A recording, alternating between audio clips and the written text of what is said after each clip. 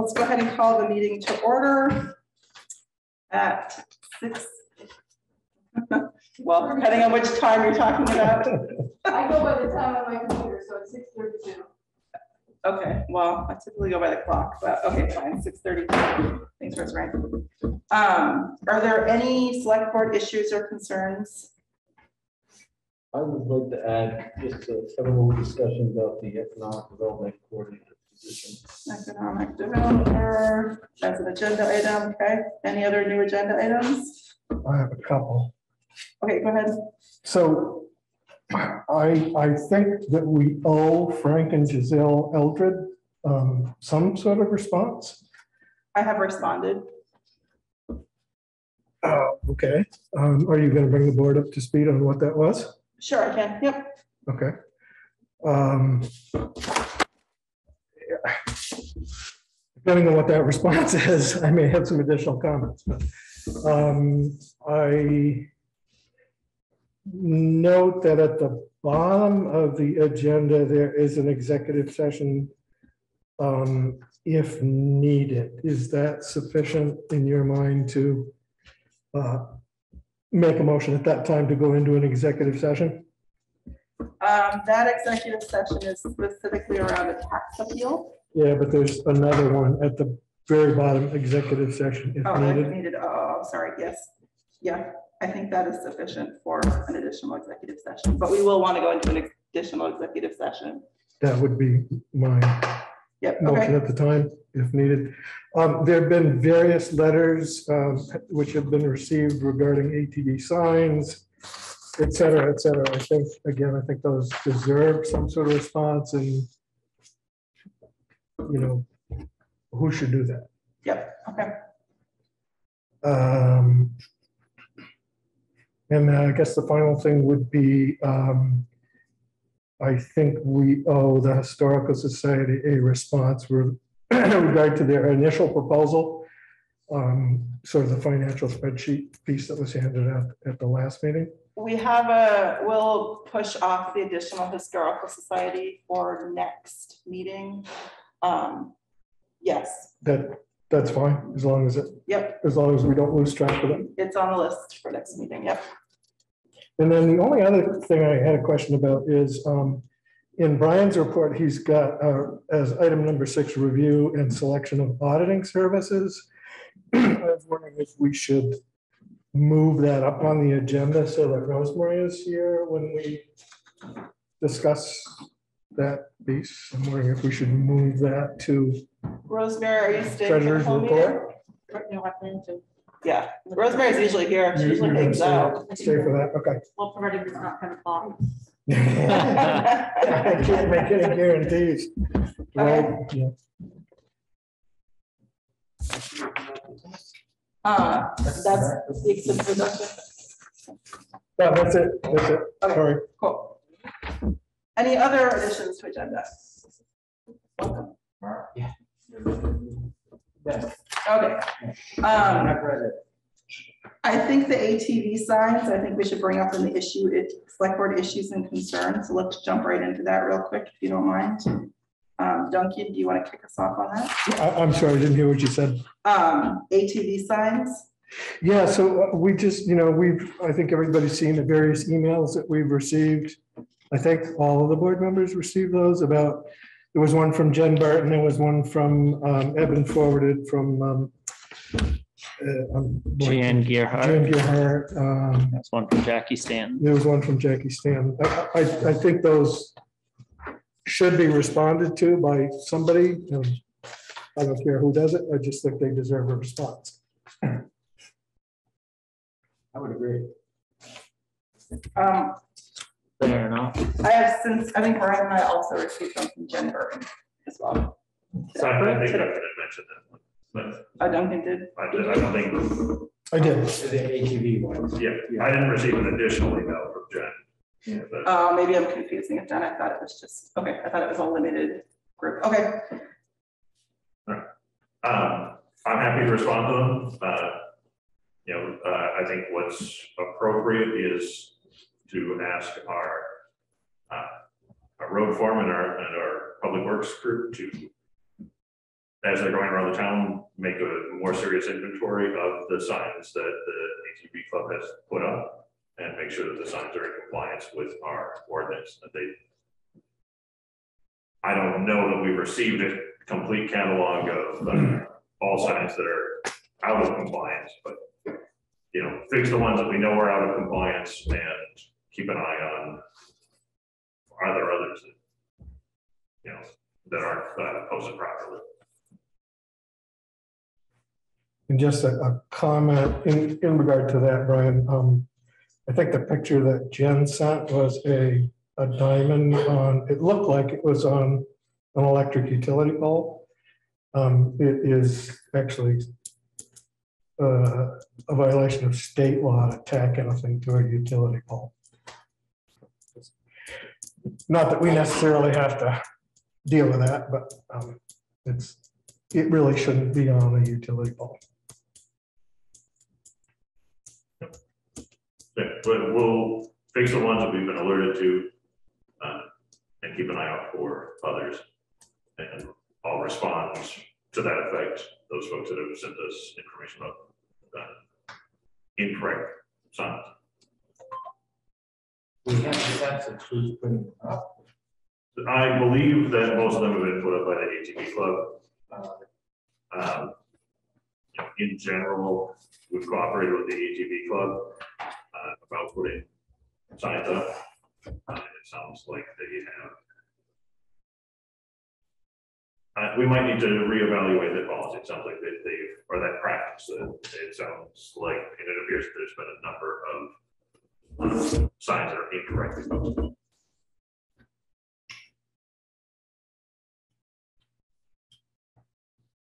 Okay. It would seem to me we would want to tell them somewhere or another when they're taking their signs down, so they just don't go put them all back up. Yeah, no, we'll, we'll be in touch with the ATV club, but also they are, they belong to the ATV club, so we'll be returning their signs. Yeah. Very generous, the state doesn't do that. Yeah. I know. Okay, uh, thanks Duncan for bringing that up. Um, okay, invoicing, invoice and order review. Yeah, Okay, cool. First, Maybe right now.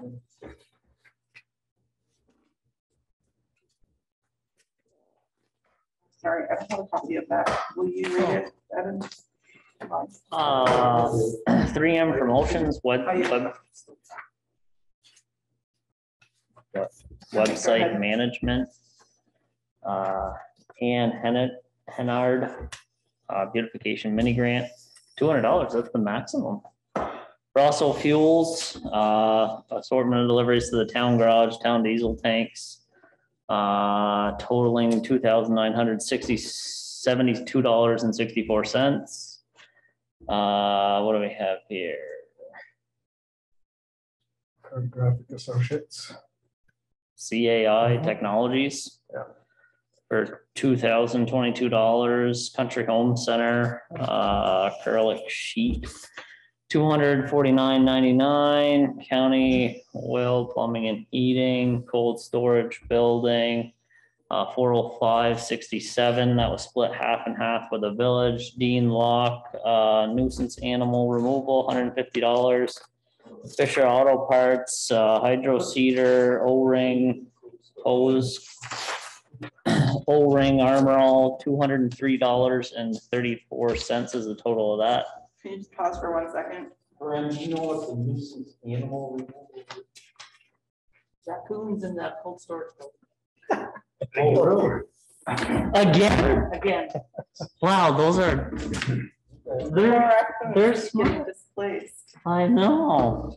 Um, I have a question on the CIA technologies, just because I know Brian's gonna bring up a topic on this later. Um, does this, do these two invoices fall into that discussion at all for later? Uh, Rosemary, correct me if I'm wrong, but those, the two that are here are not the major ones that we discussed today. And they're not related to that? Are they related to that line item in the budget?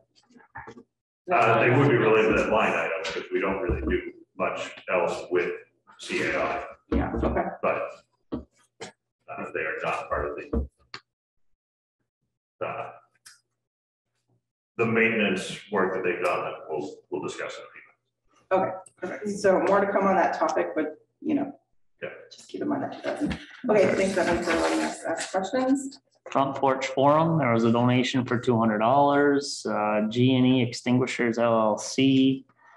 Uh, there was work at the food shelf and highway department and municipal building totaling three hundred and eighty-nine fifty. Uh, Haun Welding Supply for supplies and cylinder lease for fifty-seven sixty-eight.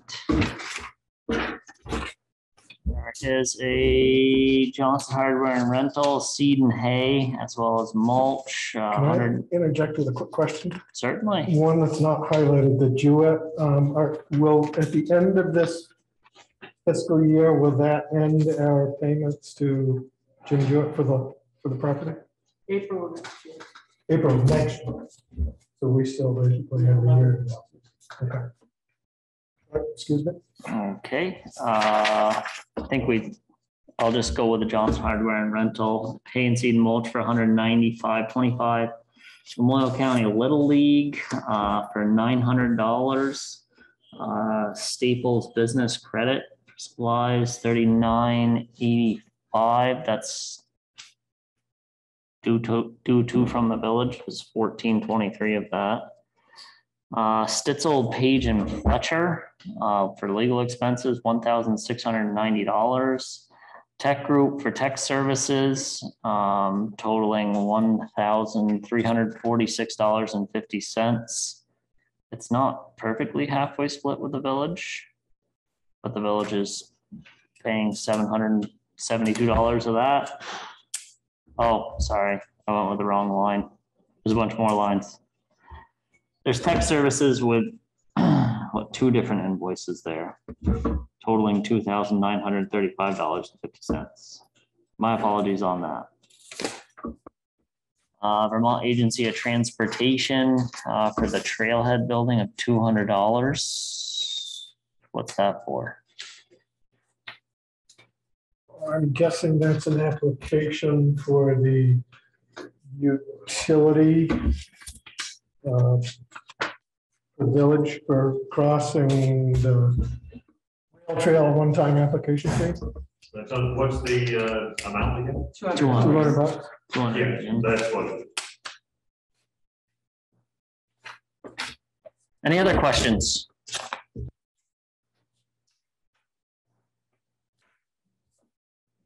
Sounds. Hearing no. Okay, thanks, Evan. Um. Review and approve of minutes from April first and eighteenth. Before we approve them, I've got a couple suggested changes that people might want to think about before we make a a motion, or do you want a motion and then No, go ahead and, go ahead and offer them up. Okay, um, Don, I know it's really hard when people are wearing, wearing masks to know who's who, but in, in your minutes, you've got Dick Seamays, it was actually Dean West. Oh, yeah, some, somebody pointed that out, I can't remember if it was. Yeah, I think I had a discussion with. It was me. About Okay. that. Okay, And, um, and I. That was the April that. eighteenth Changed meeting. on my version. what's that? That was the April eighteenth meeting. Uh, it was the Yes. last one we had, yeah. Um, and also you had two other people from the Historical Society. Oh, yeah, I didn't know who, the people came in and said that, I don't know. One of them was Tom Carney, I'm sorry, okay. and the other one who is not actually a member of the Historical Society was Donnie Garrett. Oh, Okay, oh, the guy who lived in the apartment, uh, Yes, did he still his name with a Y or an I E? uh, I believe he does I, And those last names? Yeah, I mean, you could do Don or Donald. Um, and the other guy was Tom Carney. Okay, Donnie Garrett with. Garrett, uh, two R's and two T's, right? Okay, Isn't it? Okay. Um, and this is a minor thing, but I noted that Mark Woodward said we were gonna get ten million for our ARPA funds. I think you said that tongue in cheek, Mark, but I, I certainly oh, maybe I'm wrong. Yeah, ten million. doesn't- My understanding was he was gonna make up the difference. Well, yeah, and that should be reflected in the So middle. we should Well, get, certainly want to be reflected in the- Yeah, if I wasn't paying attention to that one, because- Um, and then the only other thing, item sixteen, um, maybe should clarify that the noise ordinance, there were actually two separate noise ordinance waivers. One was for green up and one was for the skate park event. There were two ordinances for the skate park. There were two Wait. waivers for the skate park. Um, Yeah, the green up one was also at the skate park. well, yeah, they were both, one was, one was for green up day though. And one was for the skate park. well, they were both applied for, Casey Right. Romero applied for both of them. yeah, and they're both hosted at the same location, so I guess Ah, okay. I I don't understand. know. I don't remember. Is it, is the, is the green up day event gonna be hosted? at the Yeah, skate that's park? what she said in her email. There there is a green up day event at the skate park. At the skate park? Yeah. Okay, There is also green up day activities at the village green. Like usual. But there's going to be a separate event at the skate park that they're going to have live music at. oh, okay. And both Okay. waivers were skate park waivers. Got Yes. I'm, I was confused on it. I thought it was for the green up day, but No, it's just happening on green up day. yep, okay. Okay, so, um, Duncan, would you like to make a motion? I would move, um, the minutes with those changes, except the ones related to the skate park. You have a motion, do you have a second? Second. Uh, any discussion? So, so the Mark Woodward thing, I can't, I'm, I'm not looking at it now, is it, is that just something like a quarterly review, like a joke, I, I can't even remember what it was. It was uh, at the discussion of whether we would take the standard deduction for the ARPA funds. And Mark, Mark did make the comment, that's 10 million, right? Um, I'm sure I did. But, but but I think, I think the, Oh, oh, and I just was not thinking about it, and I just put that in the minutes. it got put in the minutes as it's 10 million. Um, I suspect that was the project meeting on the fourth. Was that from the fourth? No, it was in these same minutes. it was on the- in these same minutes.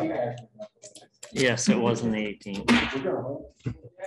So I mean, it could be, it could be just struck altogether, or, or you could, you know, you could make it like a funny ha-ha. I'm doing this right here. Before it gets out into the public. before.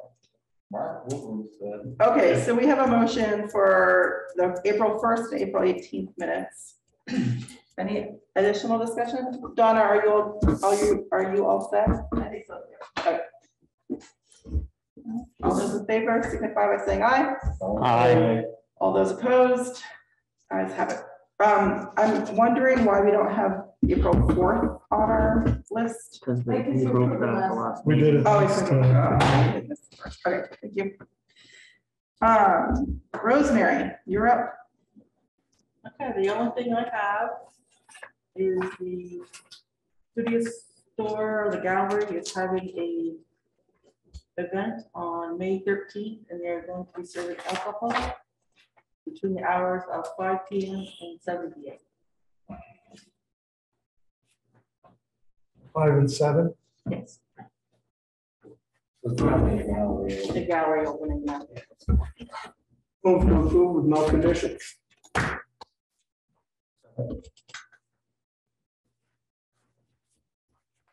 Okay, we have a motion and a second. Sorry, I was a little bit thinking and I should have been paying attention. Um, Any discussion?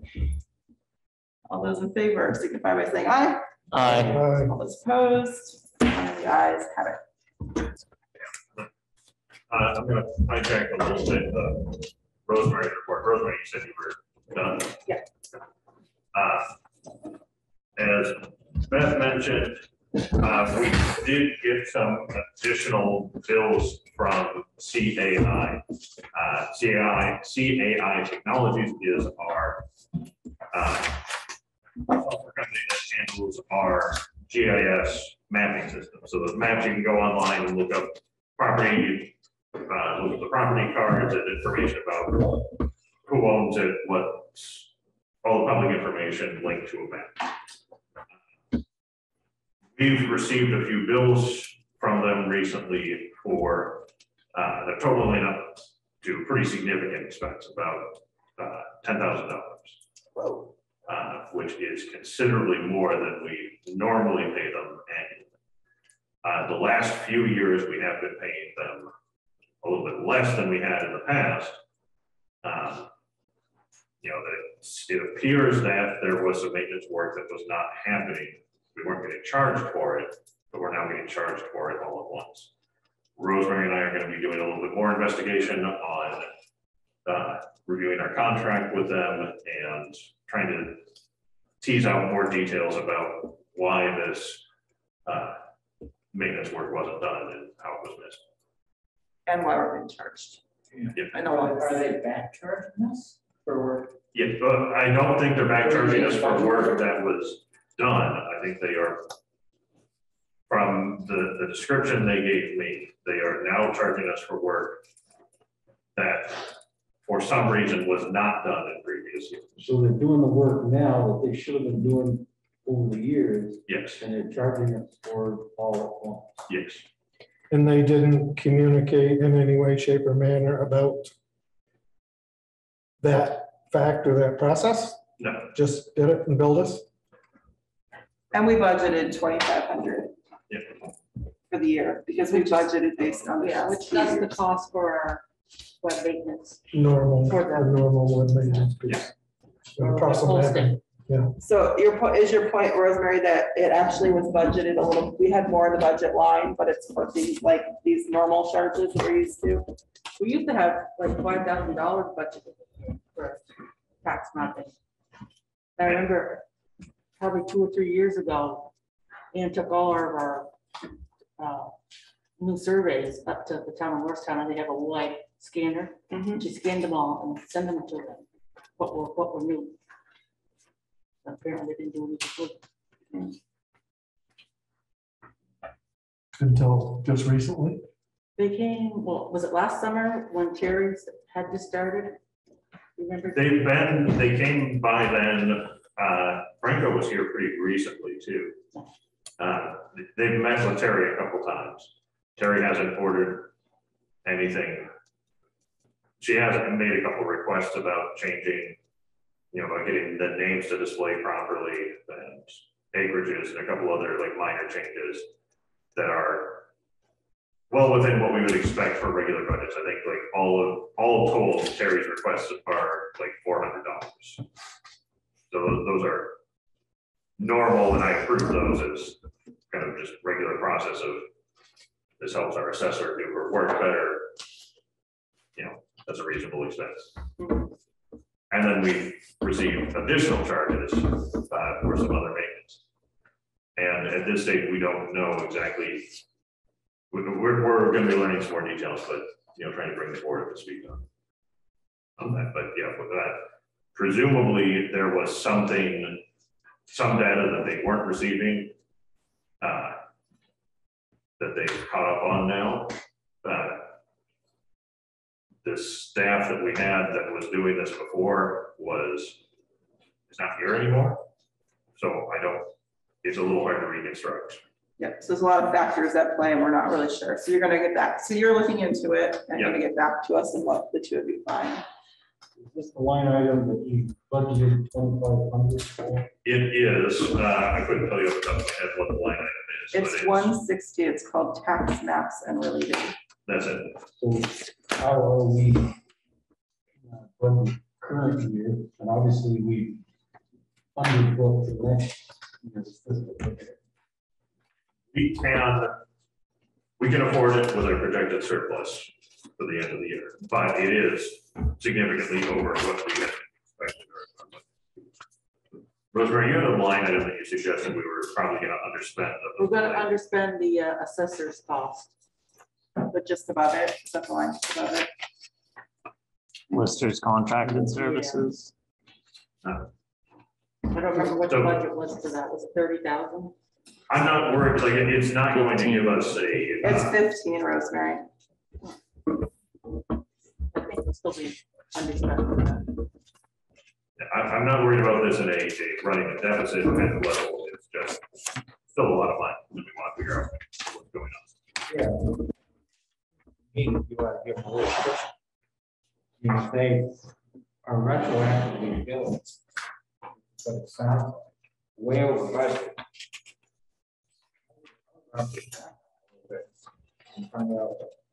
Without notifying.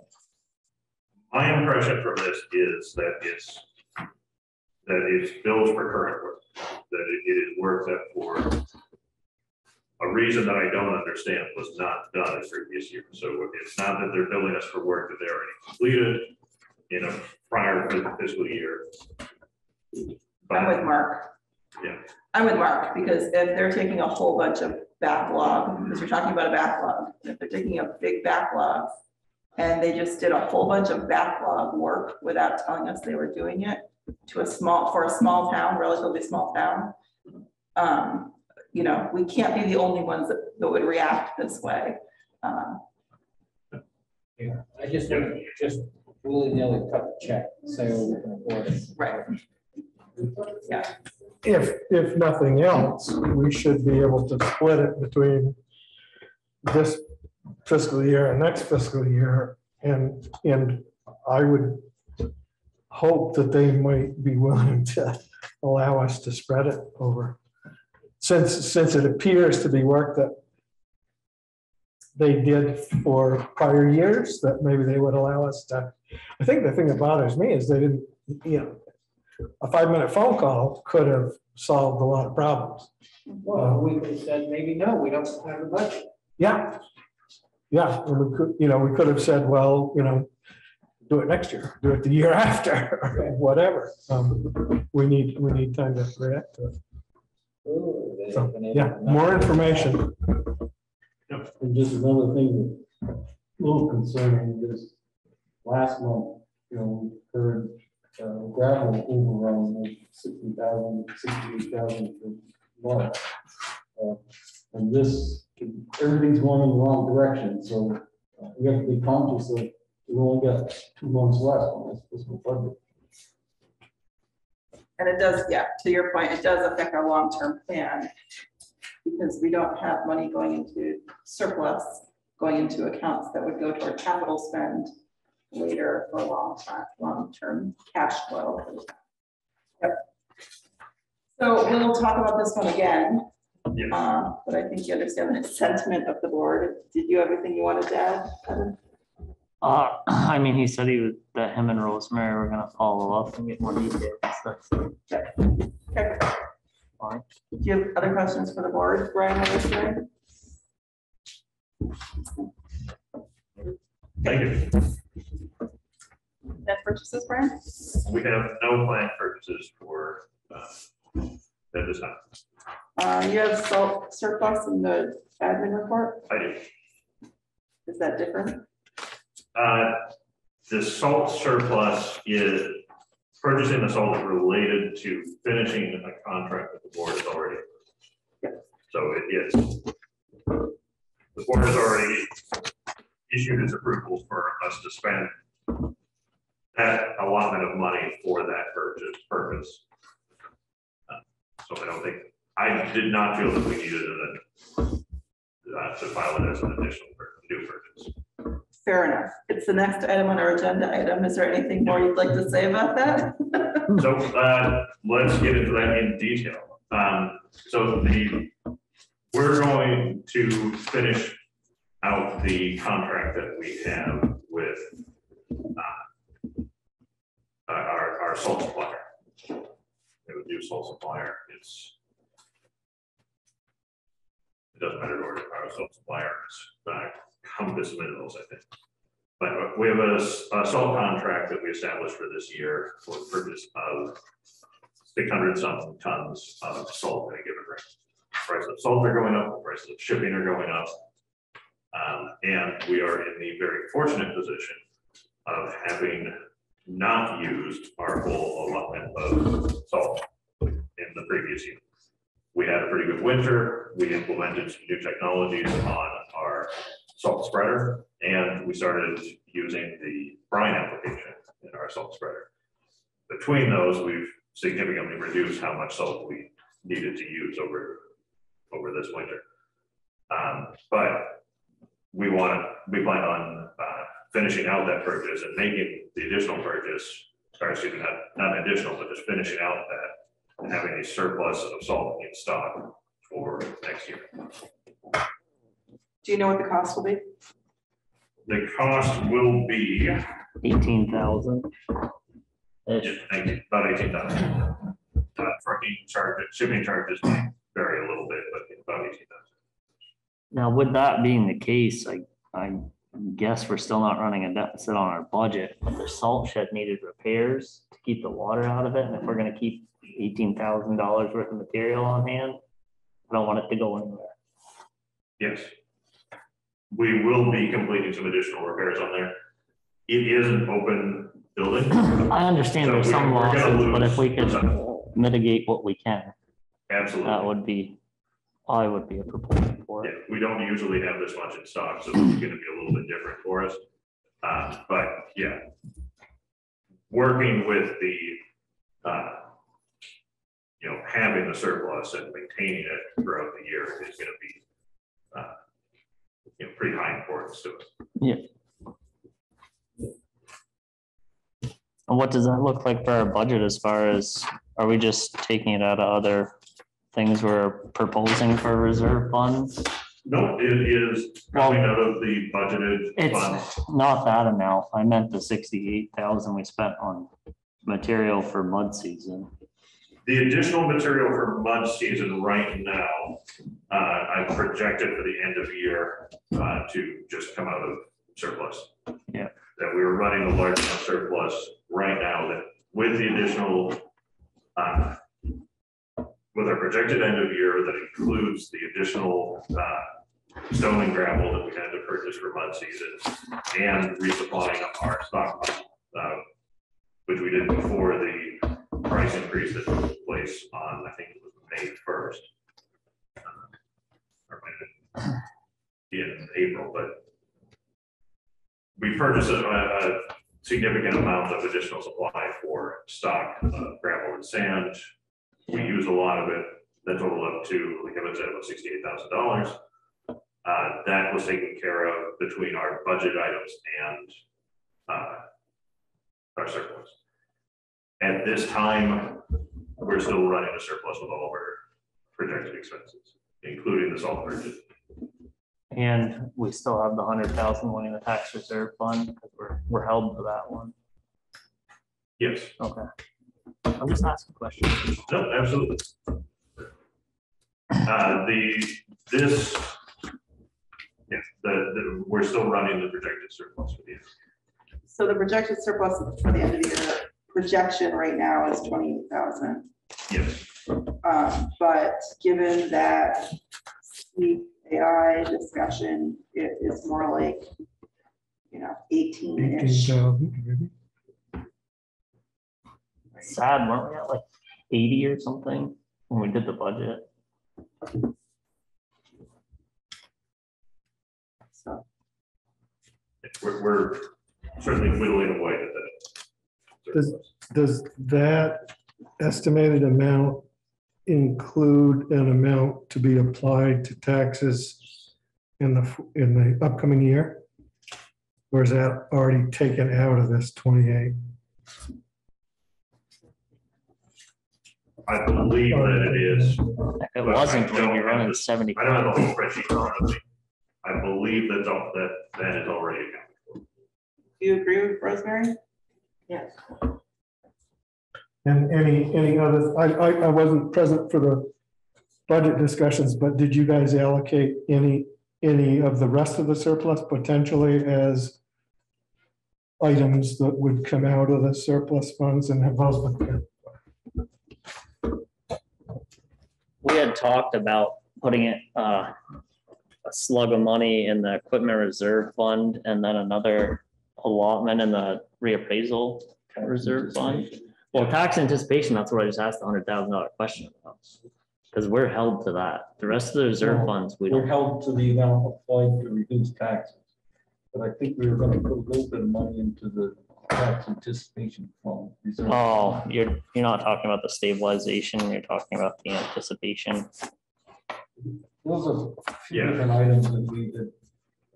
It, it was the, if I'm remembering correctly, I believe it was a little bit of money for the capital equipment fund for the, the public works department. The tax anticipation reserve fund. Which we had not been contributing to prior, correct? Uh, we've been contributing to it, but it's still, look, Okay, okay, uh, and the, uh, reappraisal fund. And, uh, uh, allotment to reduce taxes. Uh, Most of the funds that we dedicate for that come from the surplus from the prior year. So they come from settled funds. Uh, but I believe that we're still in, in good shape for all of our projected reserves. but we do, oh, yeah, well, we do need to, when the year wraps up, we should look at our budget and talk about our reserve funds for the capital equipment because we had a low year. And in our budgeting, we anticipated more going into that reserve than probably we'll be able to put into it. And we do need to look at the effect of that on our capital equipment plan. It's like four years out. It's about four years out. Yep. Well, and there's gonna be huge changes to that by the end of summer anyways. Cost. Hopefully. Well, depends on your hopefulness, Depend- yeah, cost, we don't know what cost will be for the equipment. Well, my point is, we took out way more money for that grader Yep. than we had budgeted for. And if we don't get good money for the one that we had, numbers on that budget are gonna change a lot, because that's the could, most yeah. expensive piece by a large amount. So in, you know, kind of in that context and sort of what what you're saying, I, I think it's perfectly legitimate for us to look at that. Even though it was budgeted and there's a contract for it, I think it's perfectly legitimate for the board to look at that and make a decision as to whether or not we want to spend that additional ten thousand dollars for salt? Or is it fifteen? For what? Salt, That's like eighteen, eighteen thousand. Yeah, it's about eighteen thousand. but spending that in our budgeted amount of money is gonna save the taxpayers of this town money in the long term. And we're only looking at two years, two months to close out our end of fiscal year. it could very well, and it might, I just, if it, if it negatively impacts our, our other things like reserve funds, that could cost us money too. Certainly could. So, so I, my point is, I'm not saying that I disagree with spending the money, I'm saying that I think it's absolutely legitimate for us to have the discussion as to whether we should spend that eighteen thousand and not simply say it's in the budget, it's in a contract, we're gonna fill it. I think we are filling the contract. Yeah, I think we already did talk about Yeah. that, though. We talked about it a couple meetings ago and made the decision to go ahead with the salt purchase. Uh, So if we're gonna, I mean, if we're gonna keep talking about whether or not we're gonna go with the salt purchase, I'm worried we're gonna quickly run out of time, considering we're in May and our budget closes soon. And our contract. Well, I think if you read the minutes, what the, what the minutes reflected was that Brian would report back to us and take a look at the, I don't think we approved it. Uh, uh, uh, I- take a look at the budget impact. I of the budget. think, I think the, the, the direction of Brian was take a look at the overall budget, not just the line. item. Yep, yep, it And, was. and the look at operating it in budget. the context of the overall budget. That's my recollection. And I think that's what the minutes reflect. I believe that that's correct, and that's kind of what, what, what I'm giving you today. It's The overall budget still looks positive. Still looks, you know, pretty healthy. Uh, So let's get a feel from the I board. can, if you want to, Well, wait a second, wait, wait, wait, let's not go down that path yet. Okay. Let's get a feel from the board. Do we want to hold off on salt purchase? Or do we want to have further discussion around salt pur- purchase? Uh, Duncan? Well, if, if what Brian is saying is, is correct and we're good, I would say go ahead and, and as he pointed out, make the purchase. But I'm fine with fulfilling the contract. I made my worries known about just the salt shed getting its repairs and they're already working on it, so they're ahead of me on that. Okay, and Eric, you're good? Yeah, yeah, I, I think it would be good still to see uh, the latest, the latest forecast on the budget, though, what the impact of purchasing the salt is, the sixty-eight thousand for gravel for mud season, uh, and then with the CAI of additional cost. And that doesn't change your, uh, that doesn't change going ahead with the salt purchase. No, I guess I would still support it. In- In the long run, I think it's safe. Yeah, okay. I'm, I'm on board with purchasing. I think, I think it's a wise purchase. And certainly, um, it'll save us more. It'll save us money. Okay, Yeah. it sounds like we have consensus, Brian, so. Okay, um, I'll, I'll go ahead with it and I'll provide you with an update on, of its impact on our reserve. for The upcoming year. Um, I think that, um, yeah, so an updated budget, so thank you for this updated budget. We'll just, I think we should just, we're toward the end of the year at this point, we should probably just get this regularly. Uh, all right. um, so the full budget regularly, and then also what the impact will be to our reserve plans. Yeah, the, I didn't, I'll include that on the next one. Yep, okay, I don't know. what my typical reserve is, but Twenty-eight thousand seems like egregiously low for a rainy day reserve, fund. so I don't, that would be nice for me to know what we typically hold. yep. Um, when you send it out, can you send an Excel file out? And I think giving you the file to look at and then talk about, I think is really good. That's great. Through it. Um, It's all very confusing because a lot of the reserves are based on cash assets. Yeah, And it's not really reserve, it's surplus. yeah, surplus, oftentimes we have cash on hand that rolls over, and that seems to roll through How year much after was the year after year tax? after year. How much was uh, Okay, set aside for sixty-eight thousand a month. reducing we taxes? should do, so we should do a special, like, review the budget, focused discussion. And whether it's a board meeting or not, you know, it's up to everybody, I guess. Uh, but in the meantime, Brian, if you get the file together, we'll get it out. Mark, I'll connect with you on what that looks like. Um, and invite the rest of the board, if everyone wants to go through the budget together, then we'll incorporate it into a, either a regular board meeting or perhaps a special board meeting. Um, those things tend to go long, so we might want to have a focus on that. But when we, when do we create our budget? Uh, in the fall, In the fall, late fall, yes. but it's not a calendar year budget. Uh, no, it's a, the fiscal year is July first. Right. Okay. But we have to create the budget for town meeting, That makes- that makes sense. so. It, it, it has to be completed by typically the last week of January. It might make a lot of sense for Mark and I as new board members to meet with Brian and not waste the rest of the board's time on Sure. budget stuff. Yeah. And Up to you guys, and if you want us, if you want to go through the budget again, we can, but it Yeah, might be more I- efficient. I don't know. the- I can totally relate. I was in your seat literally last year. Um, okay, So so I'm gonna so much for five minutes. Uh, okay, thank you, Brian, for the salt. Go ahead with the purchase and we'll get updates on budget and I'll let you and Mark and Duncan work out um, budget review. If anyone else wants to, you know where to find. folks. I'll, I'll circulate that uh, and we'll make the decision of uh, whether we're meeting as a board or just a couple of individuals. Perfect. Sounds good. Okay, next up, planning for input on the use of American Rescue Plan Act funds. So this is our ARPA funds. We filed on time and requested the standard deduction. Uh, so we are receiving our whole allotment as a, uh, revenue.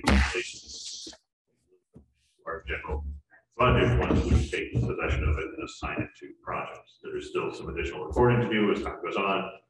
Uh, but we're underway with that.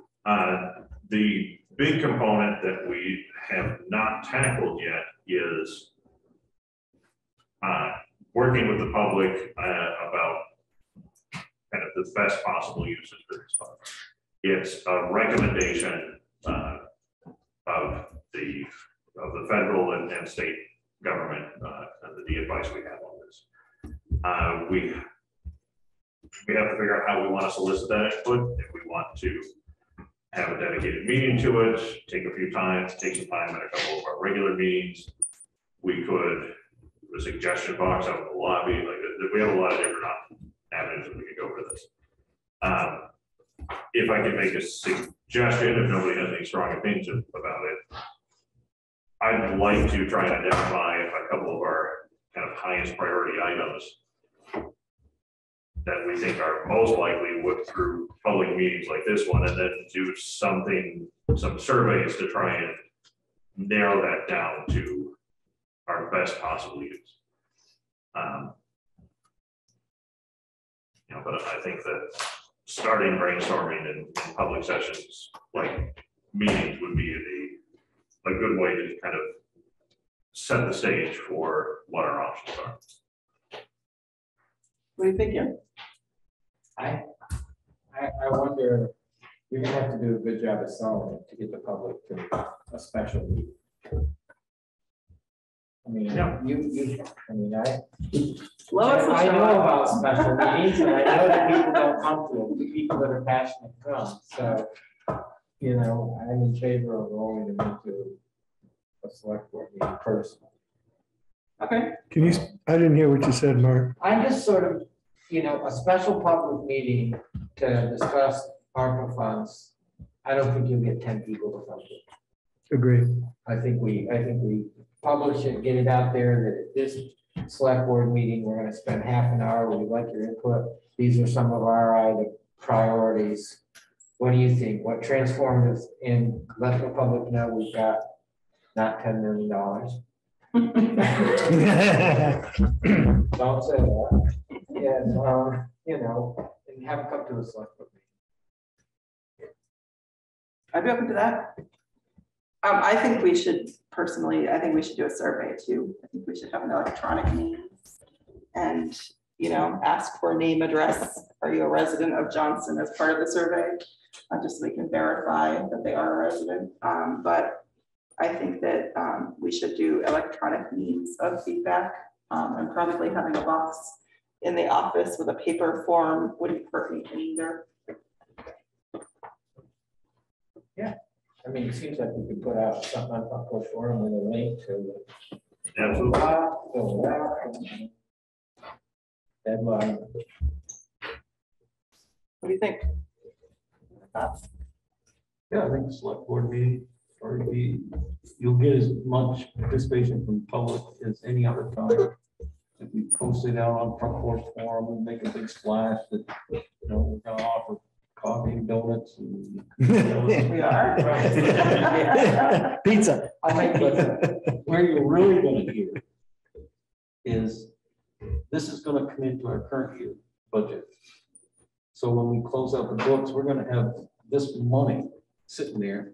We're gonna have to show that in our proposed budget next year. Exactly. That is when you're gonna hear from all of the voters at town meeting day. And they're gonna have all kinds of good ideas that are different from where we're gonna be proposing in our budget for money to go. And, you know, you're gonna hear from the ones that wanna just apply it all directly to reducing taxes.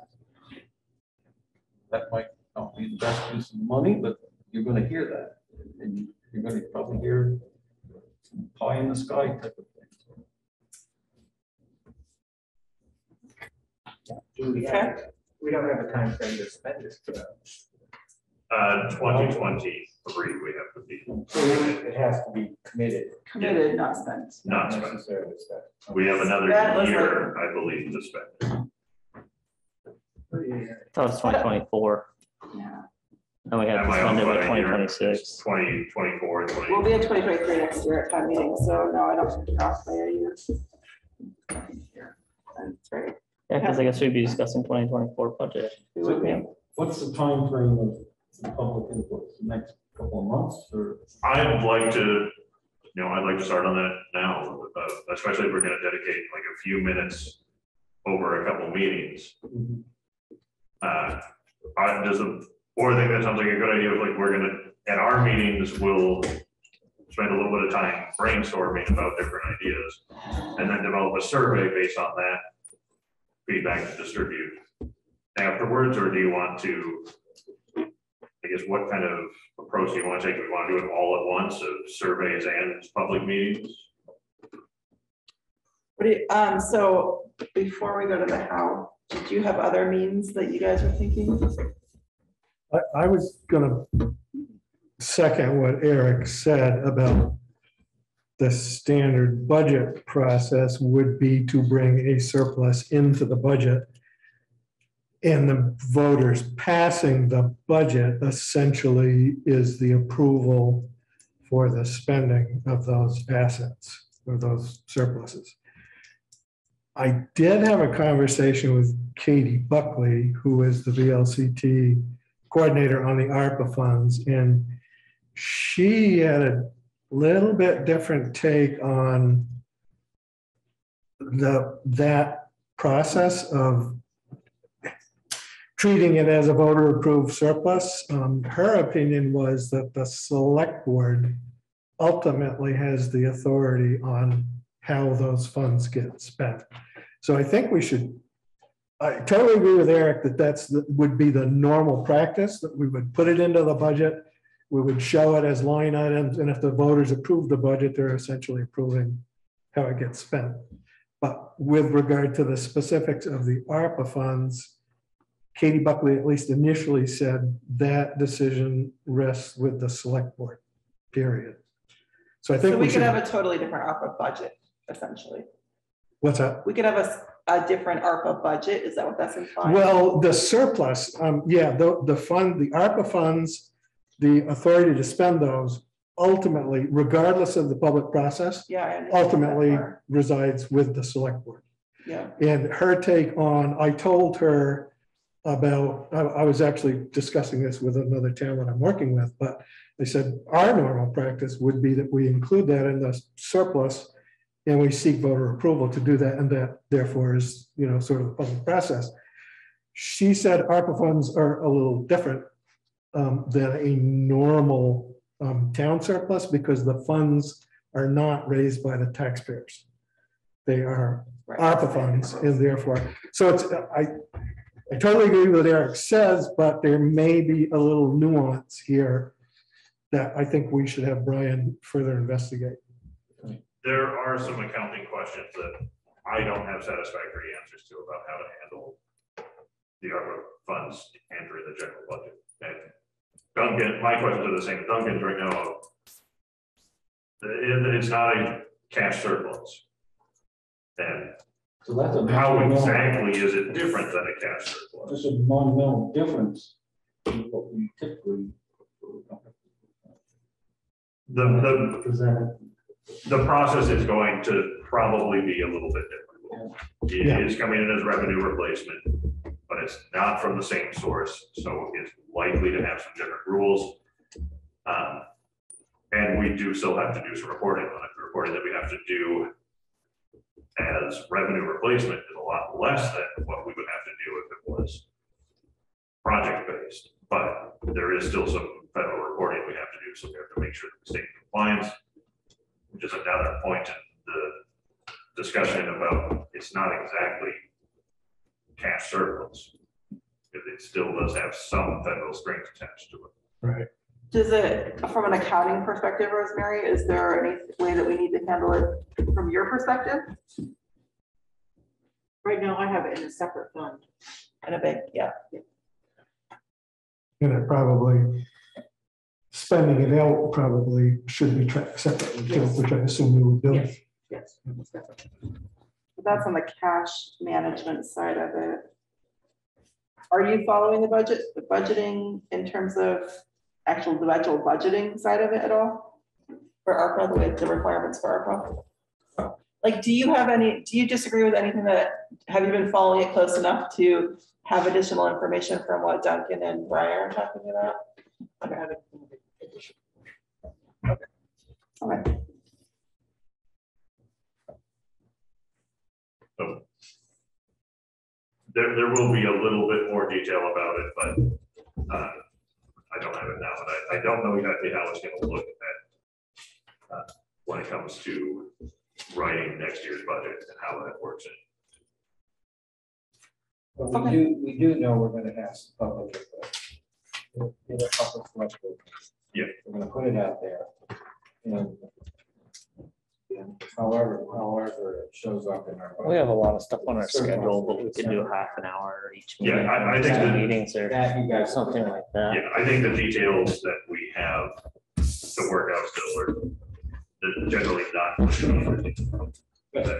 Um, so let's do this. Let's, um, we'll plan for one of our June meetings. I want to just look at the calendar to make sure I'm not.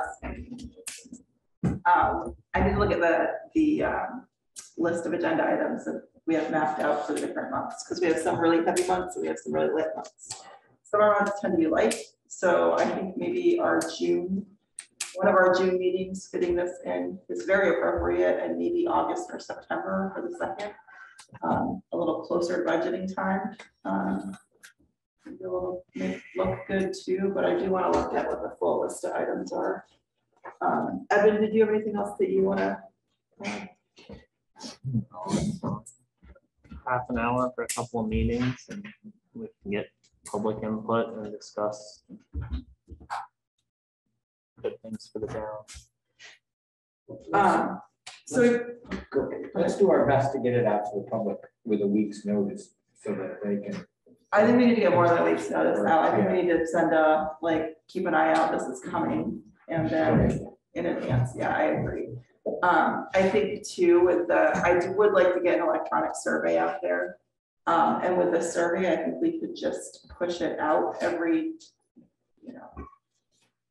It should definitely correspond with our meetings we're gonna have, but we probably could push it out once a month until our last meeting or something like that too. We don't have the money in our budget for an electronic survey. Beth. There are free electronic surveys. We don't need to spend money. No need. You're buying, Eric's- right? Eric's buying coffee minutes. Uh, okay, So, quick question on the electronic survey and the meetings. Do we want to, we can make an electronic survey that's open-ended. Uh, you know, that asks open-ended questions about what do you think the town should spend the money on and start that now if we want to. I think anybody who is really passionate about spending the money on certain topics is gonna make the time to come to one of two meetings. Electronic surveys, great, but I guess I could log on ten or twenty times and get whatever thing I wanted passed right to the top. It's it's relatively. I don't think it directs the board in very decent way, better than people here. I'm sorry. And everybody has the ability to connect with every single person up here. If you just go to the town of Johnson's website, got enough time to log on, take the survey. Have enough time to type in townofjohnson.com. We can do a survey. I'm just saying I don't, I, I think electronic survey is gonna be a pretty, it is a- an essential part of seeking public input, because it will access a different audience. Like I said at the beginning, my, my preference for this is to brainstorm and come up with ideas using our meetings and, and our conversations with people, and then use the survey to help refine those discussions, rather than starting the discussion with the survey, but I just want to throw, I want to make sure that we have the discussion that, you know, you're not just, that I'm not steering the, the conversation just based on my preference. Okay, let's keep moving, shall we? Yep, Anything else on that one, Brian? I think I'm good. Oh, All right, next up, we have ATV law enforcement updates and potential options. So this is uh, some updates on uh, the discussion that we've had about enforcement. Um, We had, the, the big update that I have about this is uh, around using the constables uh, for ATV enforcement. So uh, I'm gonna address this Sorry, everybody present too. Uh, At our last meeting, we had a, a discussion, uh, as part of the discussion, not our last meeting, but at the April first meeting dedicated to ATVs, we had discussion about, you know, that enforcement was one of the key pieces that people wanted to see uh, when it comes to any update for ATVs. So we had some, like, some discussion there, and I've got some updates on what some of our enforcement options are. Um, and in particular around the constables. So the uh, GMA hard time with the GMA TV because it's the, Green Mountain ATV rovers uh, have expressed support for using the constables. Uh, their preference was would be for uh, paying for time and equipment of a person that the board trained, paid for the constable training and was hired by the board. Um, rather than, you know, it was kind of raised, it could, would, would they pay for the training, would they pay for everything? And It doesn't really sound like that's a great fit for them. Uh, the reason they're concerned about paying for the training is, you know, they pay to train somebody, and then we make the decision about their employment status. So they get paid to train somebody and then we could let them go and ask them to pay to train the next person, something along those lines. So it, doesn't leave them with a lot of security. But if they pay for the equipment, the equipment is a permanent fixture that can go on to whoever we train up and have in place in that position. So I think that if we choose to go with the constable model, I think that that's a pretty fair arrangement for uh, the ATV club and uh, and the town. The other update I have on that was a discussion we had about uh, what the law enforcement uh, options were for our constables. Uh, The constable position was changed in nineteen ninety-six at town meeting from uh, an elected position to an appointed position. Um, I was able to find that vote and evidence of that. I could not find any evidence of the town actually voting to restrict the law enforcement authority of the constable position.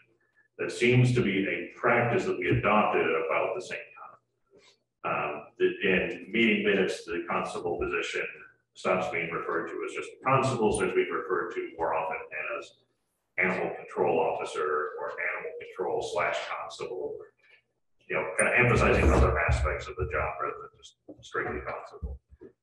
Um, consulted with VLCT about that. They laid out a few options for us if we want to uh, start conducting, or start giving law enforcement capability to our uh, our constables, but if it appears that it's not something that is, it appears that it's something that we've chosen to do, not something that we're required to do. But we've chosen to limit it, but we, we're not bound by that limitation. When, when we took that to the voters. At that time, it, it was an elected position.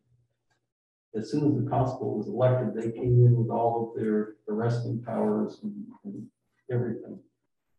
If you changed it to an appointed position, then they would only have those powers after attending the police academy. Yes, And when we, uh, when the voters changed it to appointed, we wrote up a job description for the constables. And it excluded any arresting powers or anything that was not statutorily given to the constable. And, and like you say, they did become mostly a, uh, animal control officer. yeah, that, That's a good point. That is an additional requirement for them to have law enforcement powers is we have to grant it to them, but we also have to send them to a training course. Not powers, law enforcement certificate and proof of training. Yes. Uh, So it, it is, it does appear to be an option for us.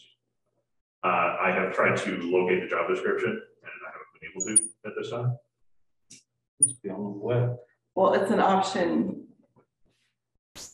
It's an option for law enforcement, provided the person who is the, in an appointed constable uh, position has that law enforcement training and certifi- certification. Yes, uh, it is. Uh, I guess that's more what I, I mean is that it is an option we could pursue. There are steps in order to enable it. Uh, there would, uh, there's some advice they have on language that our ATV ordinance should include if our primary enforcement mechanism is expected to be uh, a local constable instead of general law enforcement. Uh, So there, there's, there's a number of steps if that's the path we choose for improved enforcement. But it is a, an option for us. Okay, So the piece that I think is missing in the discussion with the VLCT attorney is whether or not she was fully cognizant of the fact that the voters had authorized the appointment rather than the election. And the distinction there that I think is important is I believe, I could well be wrong, that um, once the board is authorized to appoint, rather than have it be an elected position, the board is also authorized to create a job description, which would, in practice, over the last 30 years, um, limit the ability of the constable to perform, quote, law enforcement um, powers and duties, which is, it's described that way in the statute um, which is the only reason I'll use it in that context. Um, So in my mind, in addition to the appointed constables having by statute to be required to have taken minimum training in order to exercise law enforcement activities on motor vehicles, it would also require us to modify the job description to authorize that, and I will say, just as a personal opinion, that's gonna be a path that I'm gonna have to think long and hard about. um, fair, the thing that just strikes me, Duncan, is that a job description. Um. Well, it gives you grounds for expectation setting. Um, a job description, description doesn't. Inhibit or prohibit your ability to serve in, in specific ways. Um, so I don't think anyone's job description fully describes what the job is that they do at any given point. Um, while it is a directive, uh, for employment, it's not necessarily something that would be restrictive, I don't believe either when, in the way you're using it. I just worry about leaning on a job description in that way. I, I, agree, and I, I think it's, I think for that reason, it's probably important for us to if we even consider, even, even if we don't consider whether or not we want to use the constables for law enforcement purposes, Mhm. um, we should probably get the question answered. Um, you know, the VLCT opinion was, um, absent the voters through a specific statutory process to restrict, restrict or rescind the law enforcement powers of the constables, they've got that power. Right, So assuming they're certified. assuming they're certified and they meet the other statutory requirements. My, you know, I think the, the theory that the board, the prior board had operated under was making that appointed allowed them uh, to appoint or remove um, a constable um, and to set forth the job requirements in which they restricted. You may be right that the statute supersedes the ability of the select board to establish those roles and responsibilities by job description. Um, and I think that's a question that we probably should get answered one way or the other. Because, you know, in my, I would have a lot of heartburn. Um, there have been too many cowboys out there, um, in towns with constables who have exercised law enforcement, um, authorities and it's a huge additional, um, liability for the town to have, uh, constable, it's, you know, it's like, it's like having a police force. Yeah. Um, it opens us up to all kinds of potential liability, and I, as I said, I personally would have a great deal of heartburn going down that. road. But I'm just one member.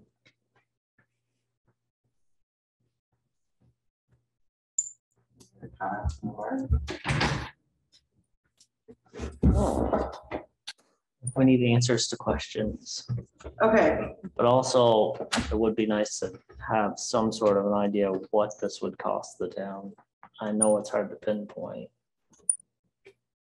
Um, but training and more insurance. and So we'll work on gathering some more of those questions, uh, financial questions. I've got the question out to the league, uh, following up on how this ties in with the vote on, uh, appointed versus elected. Uh, We'll have probably a couple more conversations with the, with the league about teasing out some more of the specifics about what our options are. Um, yeah, I don't have a lot to weigh in about the job description, about exactly where our authority lies with that.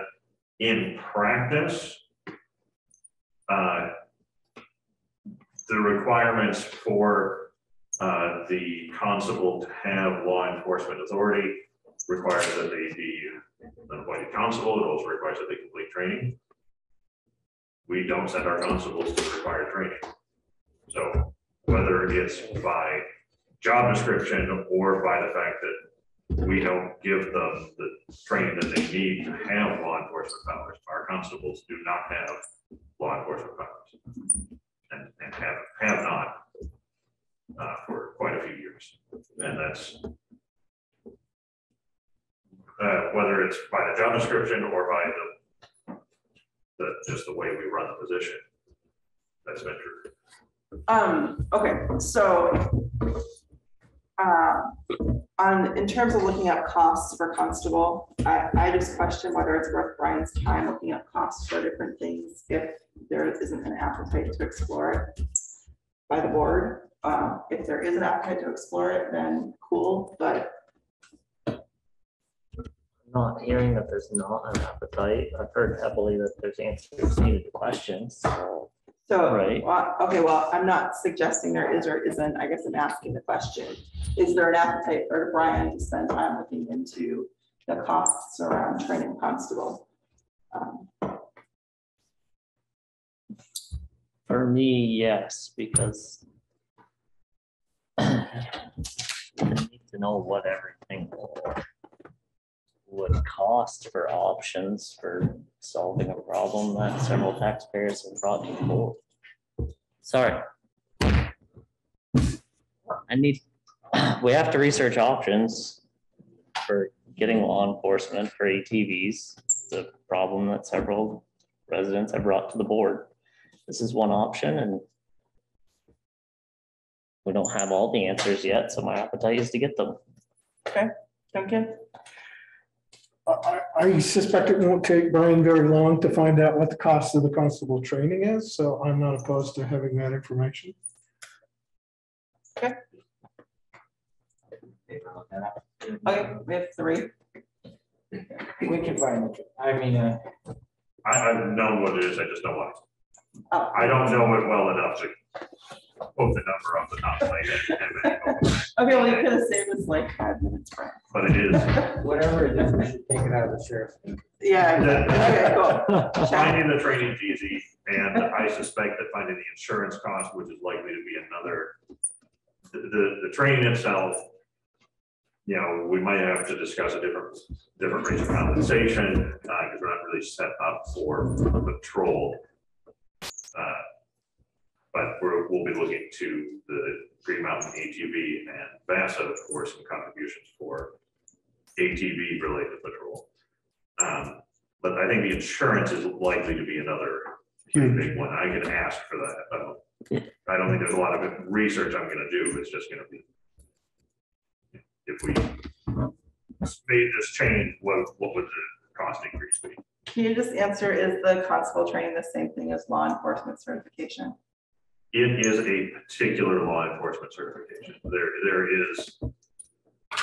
It's done at the police academy, but it's. It's not the same certification you would get to become a law enforcement officer at. Uh, you know, the sheriff's department, but it's related and they have some overlap. Okay, okay, thank you. So would they be limited to ATV uh, enforcement? That's what I want to get into with the, what is the authority of our, how, how strict can our, uh, job description be? Can we say that you're enforcing this? But this other thing that is law enforcement related, like you, is not under your authority. We, we want you to enforce, you know, just this, these few tasks that we want assigned to it. Uh, that I don't have a good answer for yet. Um, yeah, to, uh, I would also like to know what the difference between, I don't feel like a job description is good enough personally. Um, and I would think that we would need some sort of an ordinance to make it town law for it to be truly enforceable in terms of boundaries. Um, would be my guess, or whatever the law certificate is, maybe the boundaries of what the constable can do. Um, But I, I find it really hard to believe the job description would do that. By way of a small horror story, when I years ago worked for the town of Georgia, the constable there um, paid for his own law enforcement training at the police academy, bought his own AK forty-seven with his own funds, bought his own car, bought his own radar equipment, bought his own bubble, um, and started enforcing uh, state traffic regulations in the town of Georgia. It was not That's a pretty pretty scary. sight. Yeah. Yikes. Yeah, let's not go, go there. So we, we need to investigate more about what are the limits of our control over the position. It is a state defined position with certain roles and responsibilities. Local ordinances can interact, ordinances or policies can interact with that, or we gotta find where the limits are of uh, our interaction. Yeah, okay. Update. Um, Spencer, did you have something that you wanted to share too for law enforcement? Oh, yeah, that'd be great. Um, Show the email. Um, just to continue on the, I guess, a little bit of the constable thing. I Spoke with VASA, we're definitely willing to, if it's, you know, for ATV control, we're definitely willing to pay for that constable's time and everything like that. VASA has a budget for that, so. We definitely will it for that. Um, and then I also have an email from uh, the executive director of VASA. It's, um, It says, uh, basically, they reached out to Essex County Sheriff's Department, and they're looking to VASA, and them are looking to put together a contract for uh, patrol for ATVs. Um, For right now, it sounds like they can start with uh, six weekend patrols. So they could either do a Saturday or a Sunday, four to six hours either day. So it sounds like six weekends, four to six hours each day, or Saturday or Sunday. So, um, and then basically he asked us as a club, Danny, executive director, what trouble spots, you know, seem like you have, we gave him a list and he says he's gonna definitely keep me updated, but it sounds like we're able to get. the Biggest thing as far as, you know, law enforcement, we have the funds for it, but a lot of people can't do it or they don't have the manpower. It's not like we're not trying, you know, we, we know enforcement needs to be done, so we're definitely willing to pitch in for that, just finding the manpower to do so. And if we do get a constable, you know, I think they should be, you know, it's up to the board people, but don't train them just to patrol ATVs, you know, I don't wanna make the town spend whatever, a hundred grand, someone that just so we can patrol ATVs, you know, but they're doing that patrol, unless it's club and master, more than willing to to uh, pay for that, we should sign. So, it's down. Thanks. The times that you, you remarked uh, six times or something, is Yeah. that all in Johnson or in the Warren County? Um, it's probably mo, the, well, the trouble there is we gave them. It's mostly in Johnson, it seems like some of Hyde Park. Uh, mostly Johnson now for sure. Um, And then, yeah, it'd be like four to six hours, either Saturday or Sunday. It sounds like six weekends they can commit to pretty much right now. Um, thing, I guess I can just point at that you know, if ATVers start seeing the law enforcement, word gets out. Hopefully that keeps people in check better, for sure. You know, Takes that one time where, oh, they sit here, you know, just like sheriff's car, they're sitting down the road, you know, where they sit this fire station here, you know, you never know if they're there or they're not, so. Kind of keep it in check, so hopefully that would help with the years for sure. I will keep people report up to date on figure any more details on that. So, Yeah, keeping us up to date. Thank you. Thank you very much. The much. gist of this discussion is because the sheriff's department is just basically sitting there. Yep. We won't do any ATV stuff. So if I want to ride my ATV down Main Street at fifty miles an hour, the sheriff's department's just gonna. Uh, the sheriff's department will not wave at you. You They- hope. They will, if there is a blatant um law being broken or something that doesn't look right, they will stop and have a conversation and potentially cite someone, from what I understand, but they won't patrol for ATV violations and uh, will often not respond to complaints.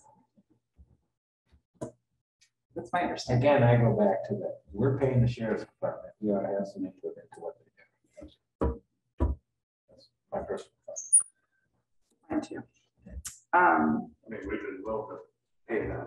Yeah. For, out of even up the town's budget, we basically get back that they don't have the manpower to do so, so. So that's kind of frustrating, but it's also frustrating, like, we want enforcement. so.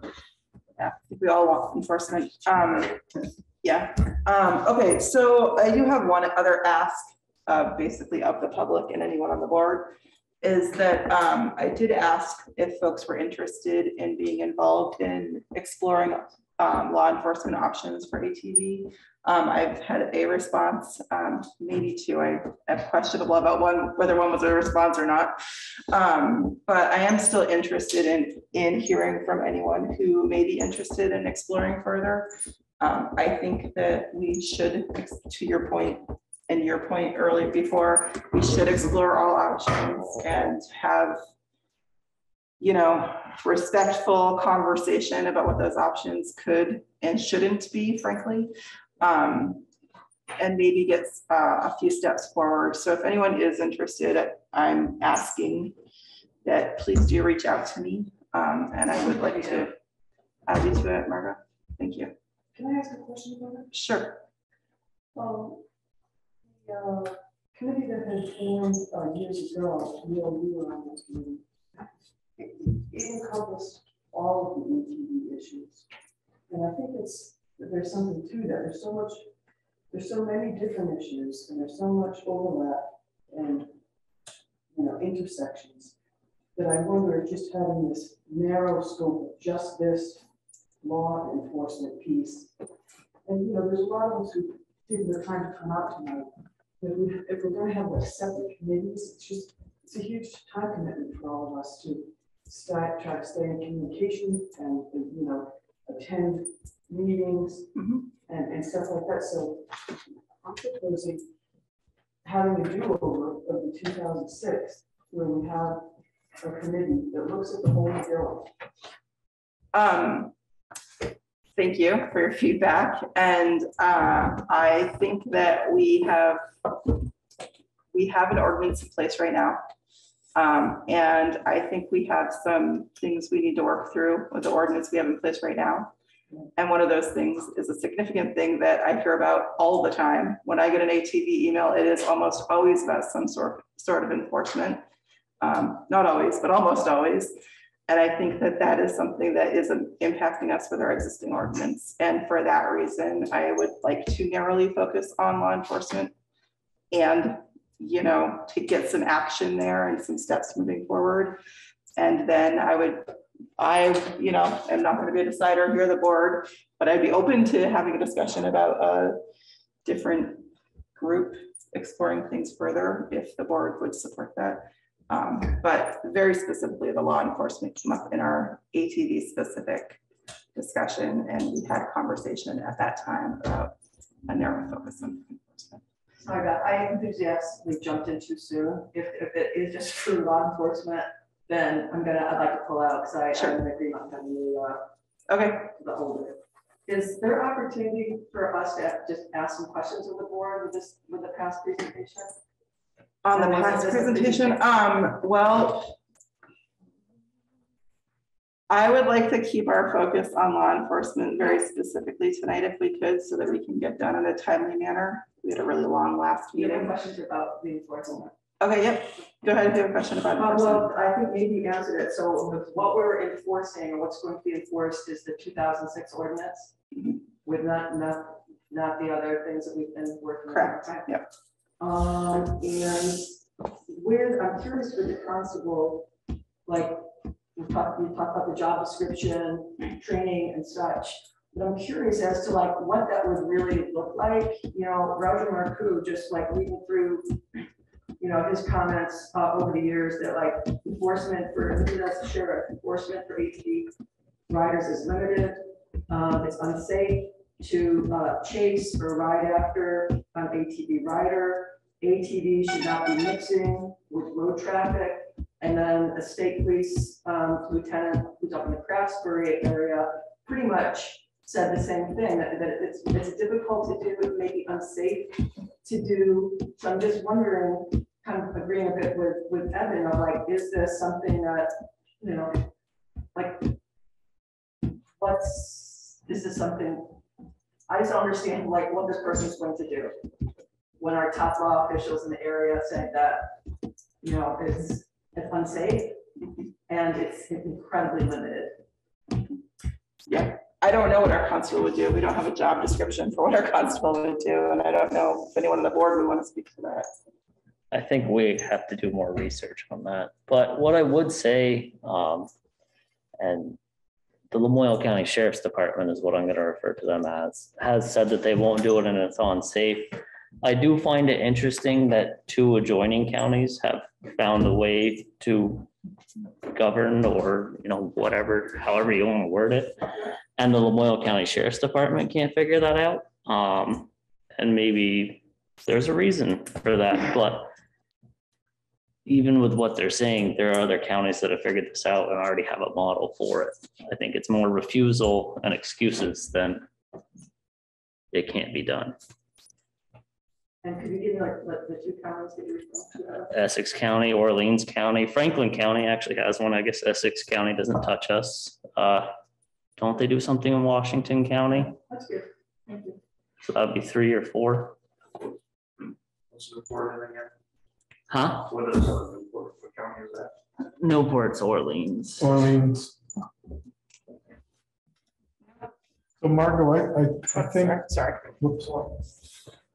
Um, I, I, I think one of the, one of the reasons Roger and other, like state police have said that was there was a death resulting from a vehicle chase uh, of an ATV user where the ATV user was, was killed. This was a number of years ago. So I, I kind of get what Roger is saying with regard to using a cruiser to chase an ATV. probably not the smartest thing in the world, but I think some of the other counties have looked at a model more like the snowmobilers where they use a snowmobile to patrol. Um, I think some of these other uh, departments may be using an ATV to do the patrols.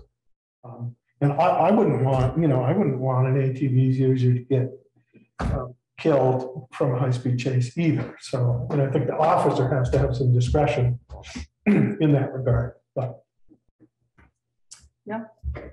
Just uh, said, we have Roger Park who also said that they didn't have ATVs to pursue ATV riders, and, and so that was another reason they didn't, you know, want to do it. And I, we, those of us who have called the sheriff's office have often been told that they don't want to spend their time on it and so forth, and it seems like it would be a select board, um, trying to somehow wrangle a promise out of them. If you, if you were going to try to be responsible for the ATV ordinance that you have, that you would get some response from the sheriff's department. And, and since they're not doing that, then I, I was sort of happy tonight to hear that you were, you were discussing how the ATV committee was willing to give equipment and that the board was going to be the responsible party for finding the enforcement person. And that sort of gave me immense relief because I think that's a good division between the two parties, rather than having the ATV club control itself.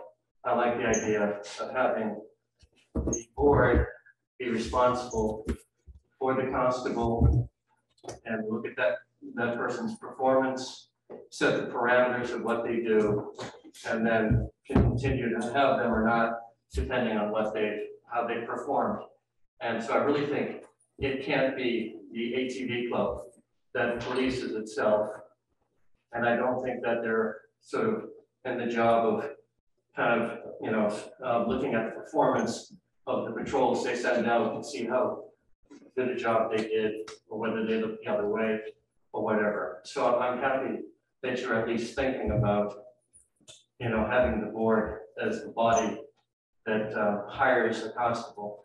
In terms of whether they become you know, have law enforcement capabilities, which means carrying firearms. Uh, you know, I have my, a pause on that, but certainly I would hope that they would be able to issue fines and even impound ATVs for multiple offenses, things like that. So, I mean, I think this is all to be worked out, and I'd be happy to be part of a committee that looks at how the enforcement mechanism is enforced. But uh, I'm happy that it's in the court of the select board and ultimately the town to hire and then also to keep a record of how many calls there are to the, to the town hall. See, you know, how many complaints happen. I don't think that the ATV club would, would do that. So just for your purposes, to know how, you know, how many complaints there are and know what kind of a problem it is in the town, it's good to have it reside with the board. Um, Jackie, we're gonna go, Jackie, I'll call on you unless anyone else wants to speak first, and we're gonna just wrap it up right after your questions. Jan, would you prefer? Yeah. I Yeah. just have a real quick question. I emailed you guys earlier about, um, if you knew anything about the, how the Lamoille Valley Rail Trail forces there. No ATV, and how, if there's enforcement there. I don't know. I don't know the answer. apparently not. I don't think there's any enforcement. They don't even mow their own right away, so I doubt they would send anybody out there to look at it. Um, Because I know But it is yesterday, I part of the- was- was on the rail trail and there was an ATV that came right up, right to us. And they were, you know, very respectful. They were going at us, you know, at slow speed. They stopped whenever I hailed them um, to talk. But they certainly said that um, they it's not that they said that they didn't know ATVs were not allowed on there, but they um, felt that they had the state, they registered their vehicle with the state so that they could use it. Apparently they can't read. Obviously.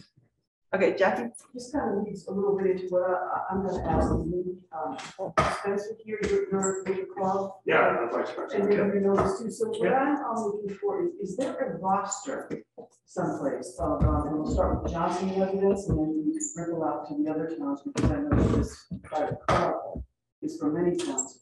A roster, does a roster exist with people's names? A registration, you mean?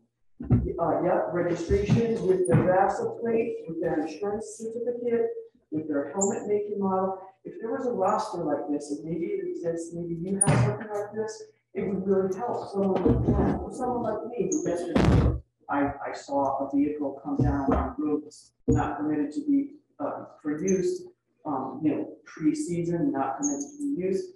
But if there was a lobster that exists, does a lobster like this exist any place?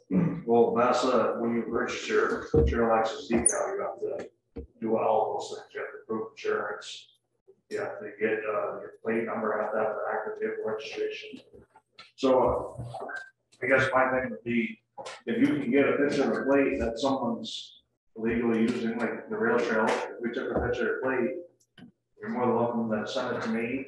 Well, well, can we get, um, or can? we Well, there- get so- roster? That's one of those things that, that's like a registration, right? Like, if they're registering through the state, we don't have access to car license plate information.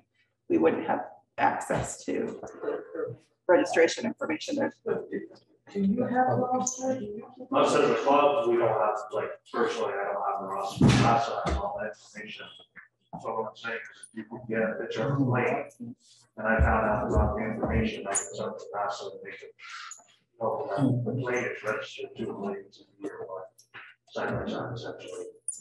So that could be, know, if we, it shows their address, everything.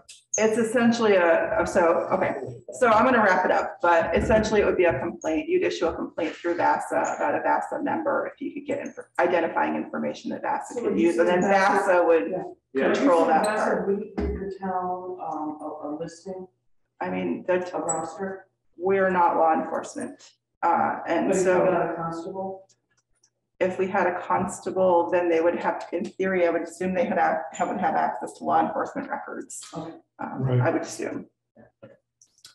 Uh, we're gonna wrap up though. Let's move on to the next item. Thank you for the good questions, um, good conversation, and Neil, thank you for your willingness to help us figure this out. Very much appreciate it.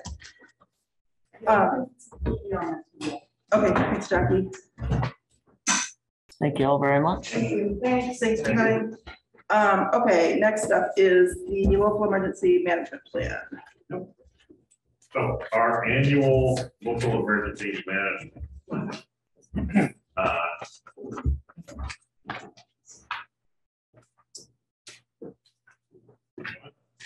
Beth, you answered this was ready to sign. There is one change we need to make. Is it the Ah. PLC two What page? What? front packet page? Uh, packet page eleven. Yeah, front page. Okay. Uh, the date needs to change. It says the local emergency management plan was adopted May first of twenty nineteen. And does, does the point of Well, it contact, was, wasn't it? It, it was. does the point of contact two need to change? Because Gordy is no No, you're longer right. an emergency management coordinator, along with his email. His email is definitely wrong. Is he still the coordinator though? No. No, No. He's he's not. not, okay. And that triangle, the phone number, everything's. Ah, you can leave his phone number there, that's fine. All right, Nasty. so with corrections for point of contact two being changed to, uh, you want to do Steve Hatfield, That was. for the village? Me. Evan, okay. Making the change with this to Evan. Uh, the rest of the document will run through with you. Well, I'm worried. I have to tell you, Brian, I'm worried because you edited this as we went along. Uh, strictly speaking, this is actually a second, a separate file. But Here's the one we edited. The, the first two pages, We went through this whole Yep. thing. It- That starts on page thirteen.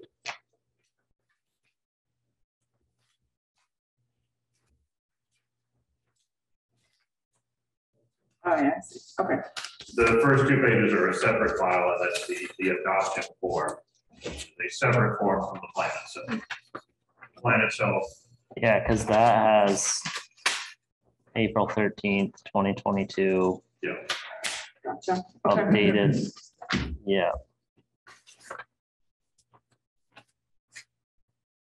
So could we motion to approve with amendments? Then we with don't, amendments to the adoption plan. Second. Recommendation. uh, hang on. Does the chair need to sign this? Yes, and Eric needs to sign it. Motion to authorize the chair and Eric Osgood to sign the local emergency management plan with the amendments of the LEMP adoption date being May second, twenty twenty-two. Point of contact to name and information being updated. You have in touch. Why'd you have to throw that one in there? Wait, I just noticed my name is in there. Where's your name? Uh, it's on page nineteen at the bottom of the I page. must have missed yeah. that. Second select board alt. Yes, you got volunteers, don't you? Thank you. Wonderful. You can thank Eric. Thought you, thought you'd sneak that one by. Yeah, no, it's right. So you're fine with that? I'm Right. okay. Okay. It's just a phone number. Any of the village items, they're gonna change since last time we met, right? No, not to my, knowledge. Uh, Peter Dodge. On page uh, nineteen, needs an email address.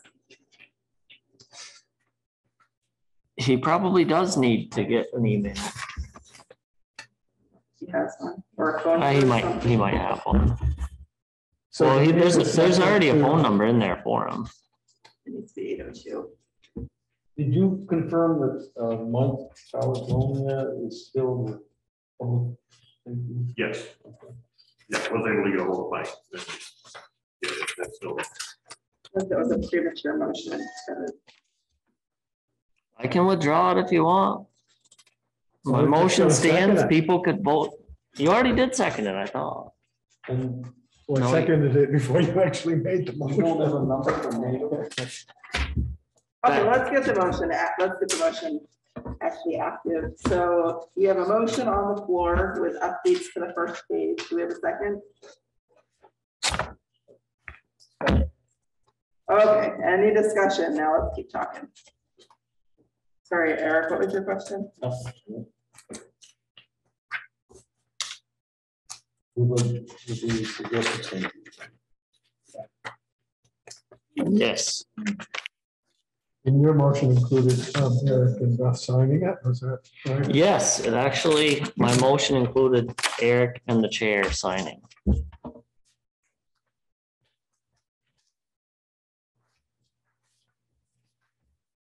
The amended copy.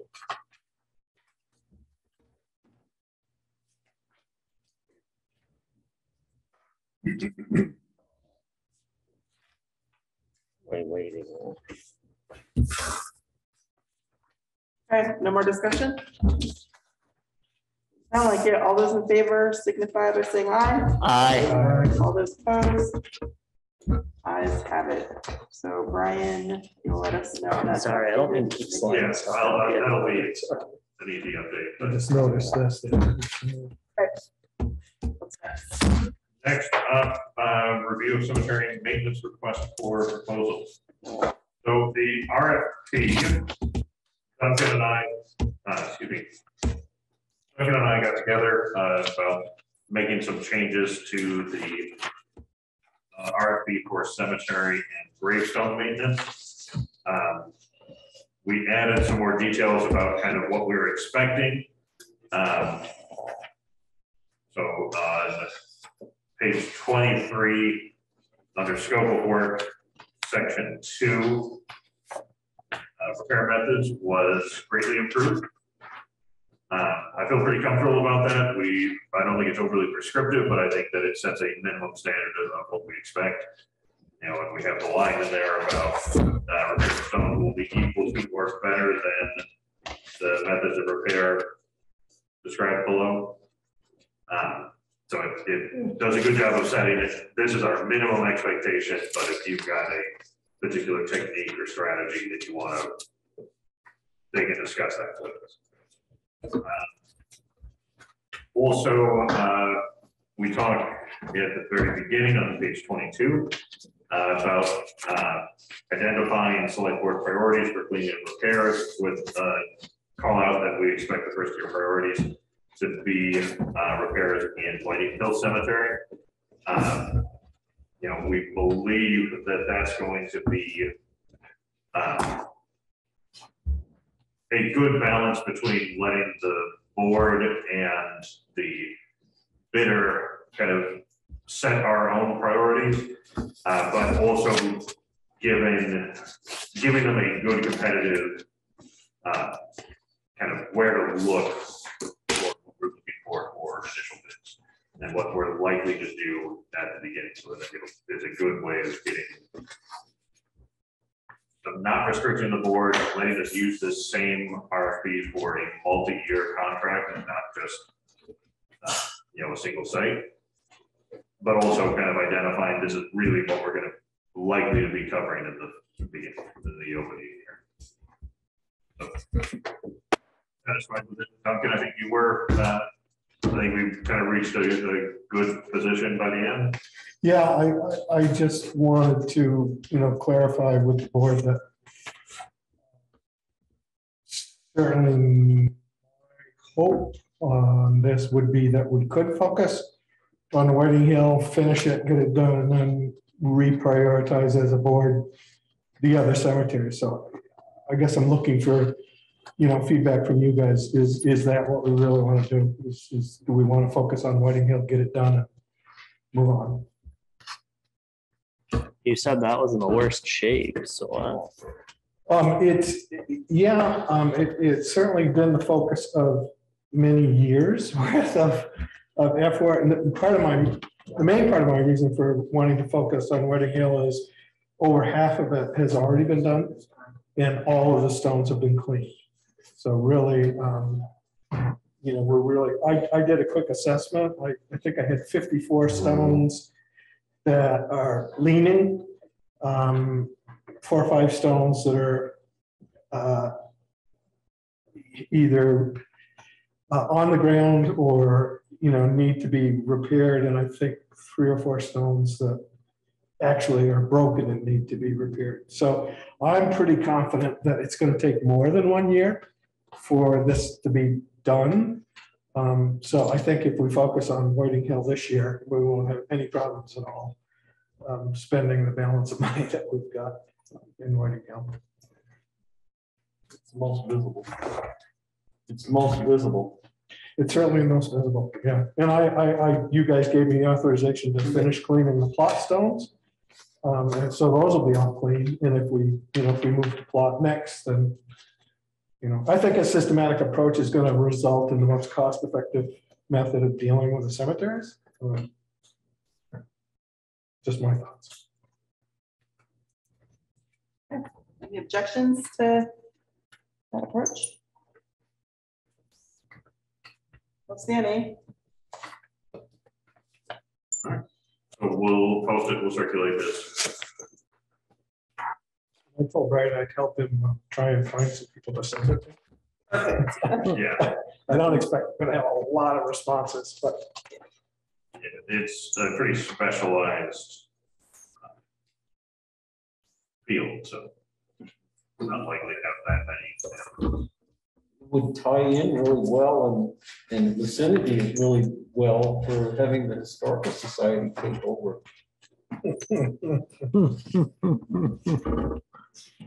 You can shoot down. Uh, Okay, do we need to do, do we need a motion on this? I think Uh, because there was no concerns, it's just circulating our. Yeah, okay, RFP. Yeah, I don't, go for it, Brian, all yours. okay. Thank you for your help, Duncan and Brian, both of you. Um, I would just like to propose we actually move the historical society let, society letter up above auditing services. That way you don't have to sit through auditing services. Yeah. I think that's a wonderful idea. All right, so, uh. Find it in my package but we It is have, page forty-seven. thank you. We have received a letter, uh, of appointments of the Historical Society member and procedures for the Historical Society to report to the select board. Um, And uh, everybody's received and read the letter from Dixie Mays. Um, Dick, would you like to speak about your letter? uh, whether it's, whether it's clear or not, and I'm not sure that our board is totally clear on where we stand on active members. If, like it says, it was our understanding that Evan resigned. And now we've had, since this letter was sent, we've had another resignation. Duncan, so we're down three people? Two people. Three, two. Feels like three though. Yeah. Dean what? Uh, well, but Duncan filled. Well, I had filled Dean's position. position, so. Okay. And Duncan resigned. And I, you can speak to that, I guess. When it. And and as of our last meeting, uh, there has been a further vote to change our bylaws to eliminate the expanding member of our committee to be a select board member. Or the designate. It needs to just go through one more meeting. To be adopted. So I I don't know what, we don't know what your philosophy is on making appointments to us. Historically, since I've been involved, it's been with input from us. You advertise it, give us some names or whatever, and we also, you know, try to urge people, interested people to come to meetings to assess their interest, and to put in an application. At this stage, I don't know where we stand. So that is still true. That'll still be the process. We'll still, we'll still post on your behalf. Um, and you certainly can solicit folks to apply. Um, and we would likely take your recommendation, uh, and appoint the person. So it would still go through the same process. Mhm. So we're down to, Okay. so that process needs to, So essentially you're asking us to post for two open positions on Historical Uh, Society. They're asking for their input to be heard before we appoint. And, and you're asking to make sure that you're involved in that appointment. Yeah. And you're asking that you're involved in that appointment. Are you asking for us to sign off on your bylaw changes as well? well, that was, that was another item, our, our bylaws were submitted. Uh, The letter says, uh, select board declined to do so. I don't know if you officially declined to do so or just never got to it. I think you officially declined. And that's how I recall it. I think we did too, because I think we were, we thought that you had the, um, uh, autonomy to make your own by- bylaws, not requiring the select board to sign off, I think is how we discussed it. Does that sound, seem right to everybody? No, you weren't there. You don't- okay. That was, that was before, that was before the last town meeting. And I think that's right. That's- Somebody you recall too? I actually remember having a discussion about that, Yeah. I'm trying to recall the conversation, but it's not, coming to you. not with a hundred percent. Okay, well, let me re, let's re-ask. Do we feel like the uh, Historical Society has the autonomy to create their own bylaws? Without requiring anything from the select board, perhaps just informational to the select board? Do we have other committees, boards with their own bylaws and do we approve them? When I was on rec committee, we created our own mission statement and provided it to the select board as informational and didn't require sign off. What is this? I understand it's being talked about as the bylaw, but this almost sounds like it's straight out of the agreement with the Historical Society in the town, is it oh, not? MOU. Well, that was kind of just a signed Our oh, agreement because Original bylaws. there should be no amendments to that without the town being involved because there is specific, I don't believe this Delegation of affect that agreement responsibility. at all. Okay, wait a second, there's two people talking, so you're saying that the bylaws are one thing and the agreement with the town is another? right? I would be fine with them amending their bylaws as long as it didn't affect the agreement mm-hmm. with the town. And Duncan, you're, And it, I- I- it would not affect the agreement, it would be bylaws only. And I, I- you know, in long distant past, the, the select board did want the various committees to run their bylaws by the select board for their approval prior to adopting them. And I can't, there was a specific instance, and I can't remember what it was, but there was an instance of one committee that did something that the select board thought was a little off the reservation. and They wanted to review and approve those beforehand. So that, I think that's why the board submitted um, for your, you know, review and consideration. And I, I, my, I'm not, no longer on the board, but my opinion as a select board member would be the Historical Society should still submit those whether we sign off on them, physically sign off on them, or just acknowledge that we reviewed and agreed with them, is immaterial to, to me, but. um, yeah, I was thinking the latter. Uh, I think that as a town entity or a town committee or commission or whatever, doesn't matter what we're talking about, that visibility to the board is important. Um, Can I also speak to um, one thing about my resignation? Sure.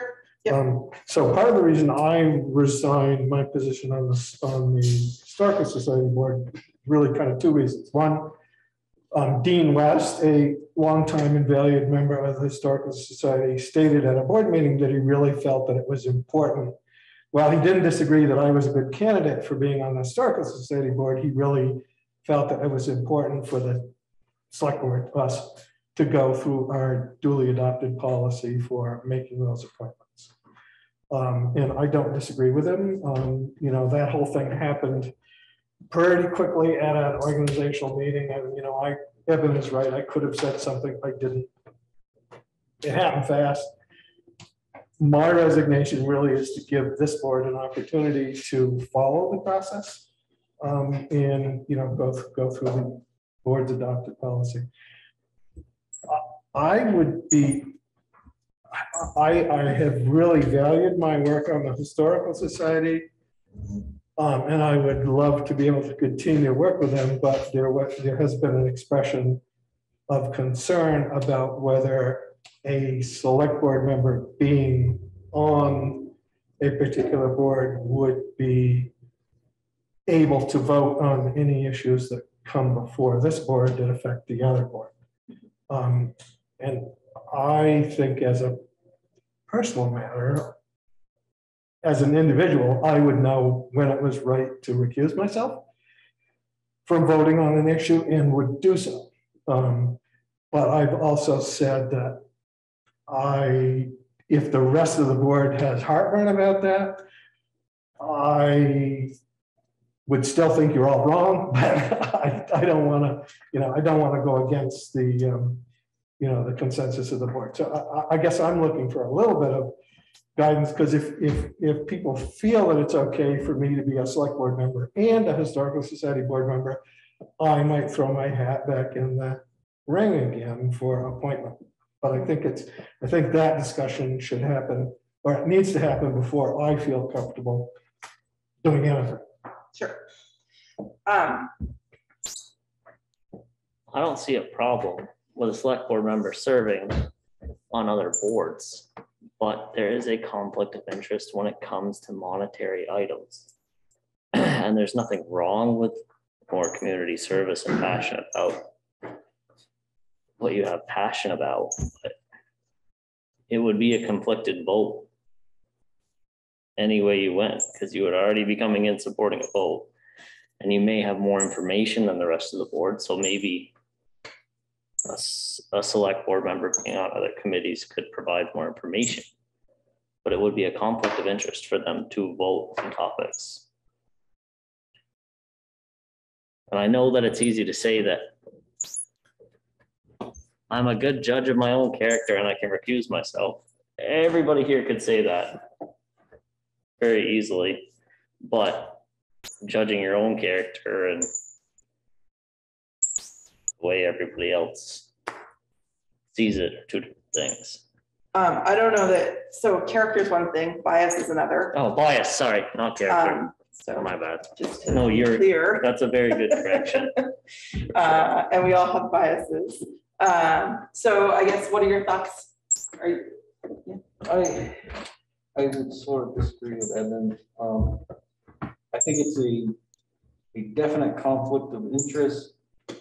If we were taking a vote as a select board and it's allocating money to the historical society or anybody serving on any other board or committee, if they personally were gonna gain from it. And that's what a conflict of interest is, if you personally are gonna gain from it.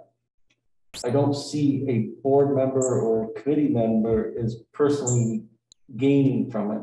So I, generally speaking, I would not see a conflict of interest there.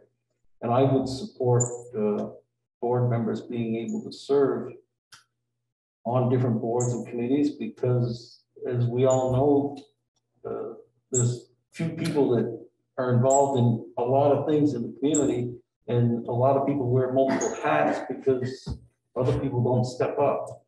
And we've had on this board, uh, rec committee members, skateboard, park committee members, and there may be some others, I don't even remember now, but, um, and they voted on, you know, all the items that were appropriate.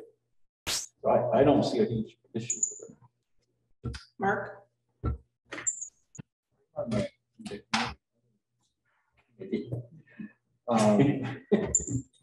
No pizzas. But, um, so I, I kind of see that, um,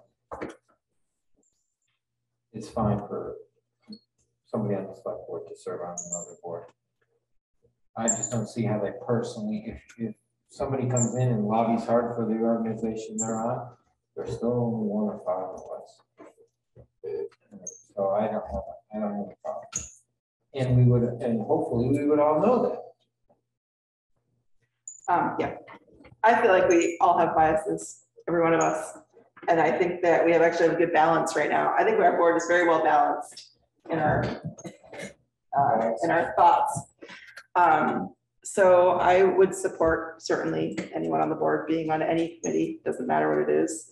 Um, and if there is any question about conversation we're having, we certainly should feel free and open to challenge each other. Uh, healthy. And I, I would hope any of you would, if, if you felt that I was um, voting in a way or, or taking part in, even taking part in the discussion um, that you had concerns about. I, I rely on the fact that you would all do that, so. Fair enough. Good, okay, so.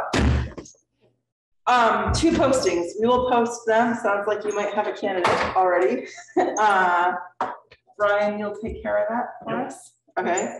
Um, and then in terms of the bylaws. Just really quickly, I know, again, I just a feel for bylaws. We saw them a while back. Um, were there any concerns with the bylaws that we saw? I don't recall seeing any, having any discussion about concern.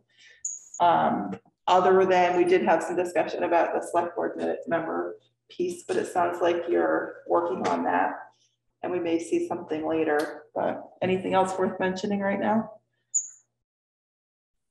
We did have another item on the, on the letter regarding, uh, again, whether we are a standing item uh, at board meetings or not. The discussion previously was every other month, and I think that gets confusing.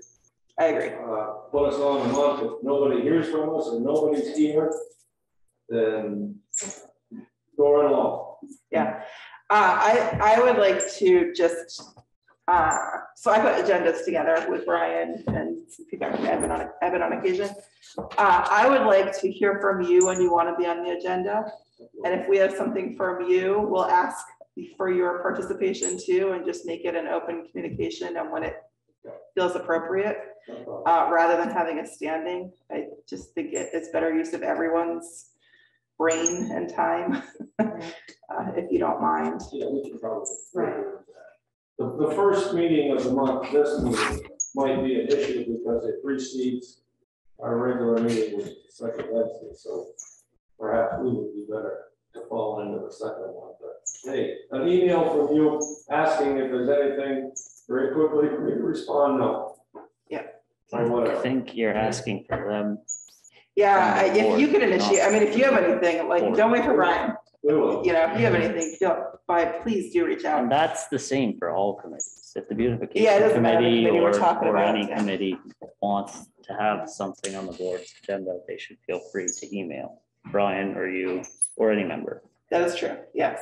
To that point, the last time we were here, we talked about the proposal for the second floor, and we thought, I, I, actually, I guess I didn't see the, the, um, agenda, and read it so well, but I guess I was under the impression that maybe the board was going to discuss it and talk about it, and we have more to talk about this. We are gonna discuss and talk about it in our next May meeting. So our, two weeks from now, it will, that discussion topic will be on our agenda. And we will be reaching out saying, hey, we're gonna be talking about this. If anyone can attend, it would be great. So, So that will happen. Yeah. Great. Yeah. Yes, Just because of the historical society, I wanted to share with you, that today when I was going through some old news and citizens, I found one from, you know, well, nineteen ninety-seven. And it was in the, um, paid advertisements, mhm. and it was the Johnson Recreation Committee bylaws. And it was all signed by all five select board members. Oh, that's hilarious. I don't ever remember that. That's really funny. Well, thank you for sharing that. Let's not do that again. Yeah, Okay, thank you. Thank you very much for moving us ahead. Yeah, you're welcome. Sorry. You're most welcome. Next time you'll be, next time I'll be better. You're about welcome to stay and listen to it. Yeah, there's all kinds of good stuff coming up. Yeah, let's get Pay in the long run. Thank you, folks. All right. Uh, thank you. Okay, auditing services, Brian, what do All we really need to know? Anything? we have one bit. One bid. You literally have one bid? Total. Wow. It's an out-of-state company. So we have the choice of recirculating or going with our, our one bidder. Are there any concerns about our one bidder? Looks like they have a lot of experience. They had a lot of government experience in, in school, which is another big budget Then experience. They look, they submitted a good, what looks like a good proposal. Um, I can connect with uh, Sarah Macy at the LCT. Uh, We're going to want to talk to her about, uh, we're at least gonna want to consider bringing her in for some assistance with getting ready for our, for the audit. Mhm. Uh, but she also might you know, might be able to better evaluate this than I, I can. It looks good to me. Um, and what is the audit schedule? Audit schedule, what I think it is. I'd like, I'd like to hear from Rosemary, what, what her thoughts and opinions are, because she's gonna be the one that's working most closely with the auditor. Do they have any um, personnel that is from Vermont? They do other work in Vermont, but they don't, They had, uh, I thought they listed two people in their packet. did they? Okay. I Yeah, missed that. they Look at this. did. Um, well, Team is on. Hinesburg, Vermont, Jordan Yeah, E. Nelly, Hinesburg. CPA.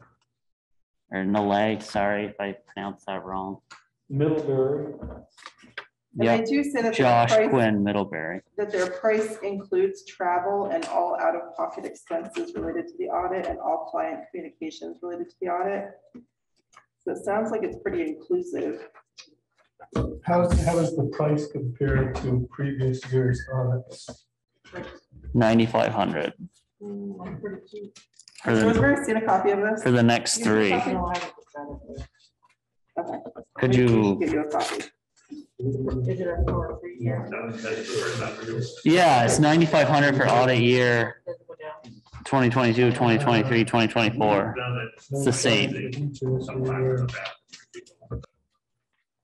You can get rid of this one. you can have mine. This is the first we've seen of it?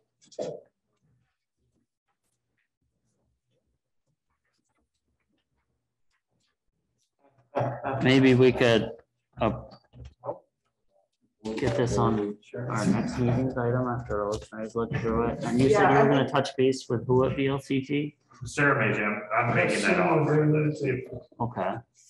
If you want me to see some more outside opinion, I can. We can't go after June 30th. Let's seek Rosemary's opinion first and uh, and maybe actually Rosemary could speak to Sarah.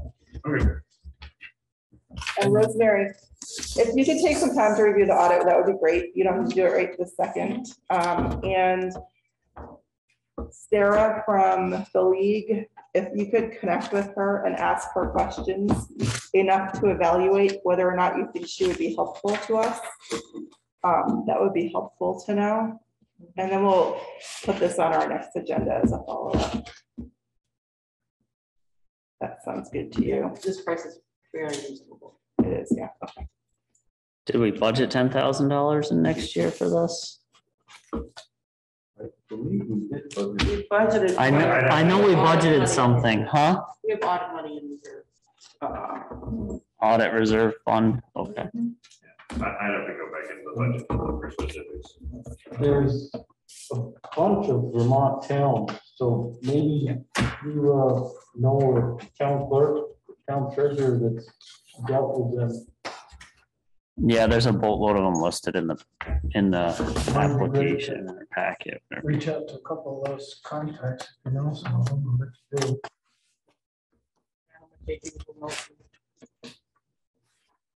And ju- just from m- my perspective on this, this, this is for annual audits. This is, uh, if I'm remembering the RFP correctly, I believe that this is a three-year commitment uh, with the option to extend an additional two years.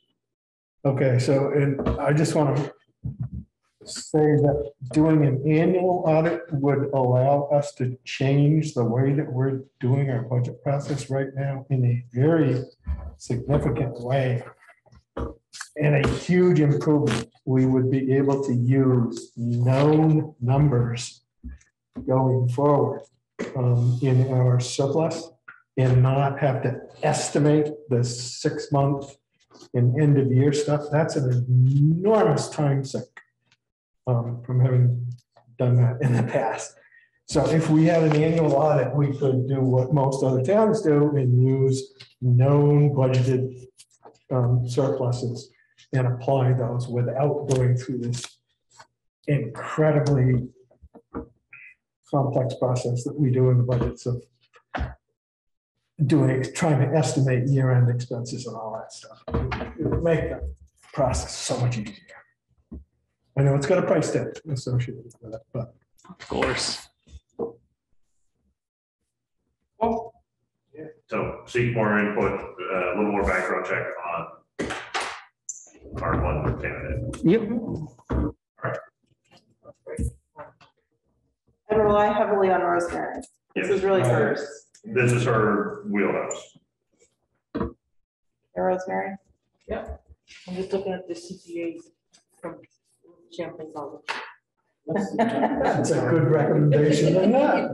Uh, we would like to have somebody in place before, uh, June thirtieth, but I, I, they had us get a suggested schedule in here.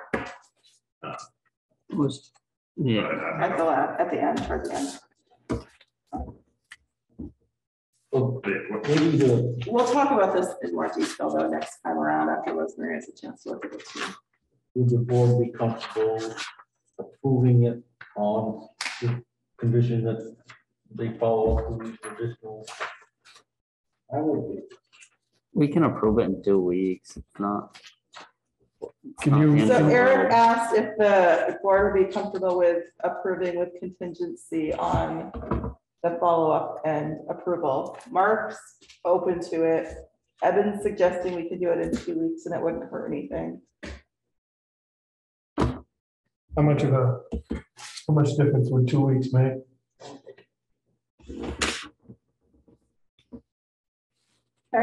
So I'm does okay somebody with wanna do it? I think that would, you know, give Rosemary look just a little more cushion with making those phone calls and not Sure, make her feel like she's under any kind of pressure to do so. I'm good with that. Okay. Okay, cool. So next time, next time around. Um, next up, let's talk economic development real quick, if we could. Plug that one in. So the select board uh, voted to raise forty thousand dollars for uh, economic development. We anticipated being able to share the cost of a, was that not the topic you wanted to? No, you're fine. You going? No, he's just pointing at, no, listen to him. All right. It's all good. Uh, We had raised, raised forty thousand dollars, uh, starting next fiscal year for economic development. We had anticipated being able to share the cost with the village for a full-time or- or near full-time uh, economic development coordinator position. Uh, The village was not able to raise matching funds, so we have forty thousand dollars in total spend on that.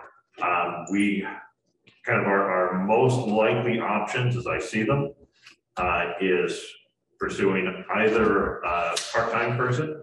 There might be a pretty good opportunity for us to share the position with another community. um, Or, uh, going about it contract work, project by project. Both would give us a little bit less than we were kind of hoping for with having somebody on full-time who can do a little bit more long-term planning. Um, but they're both pretty good options for making the most of the money that we do have. Uh, That's kind of the lay of the land today. Uh, remember who had raised the issue, so I don't know if that. answers Eric. any Questions. Yeah, I just, I wanted to put it on our agenda and start talking about it. Okay. Because, you know, we did get the approval for forty thousand, the village did not get their approval. Um, if we're gonna be bringing somebody in, we sh- need to start working on the job description, which probably is not a huge lift, because we can take Leia's job description and dust it off and probably work a lot from that. But it also would require changing your job description because we would be removing that element. Yep. Um, I think this, and then we're looking at July first, we'll have the money.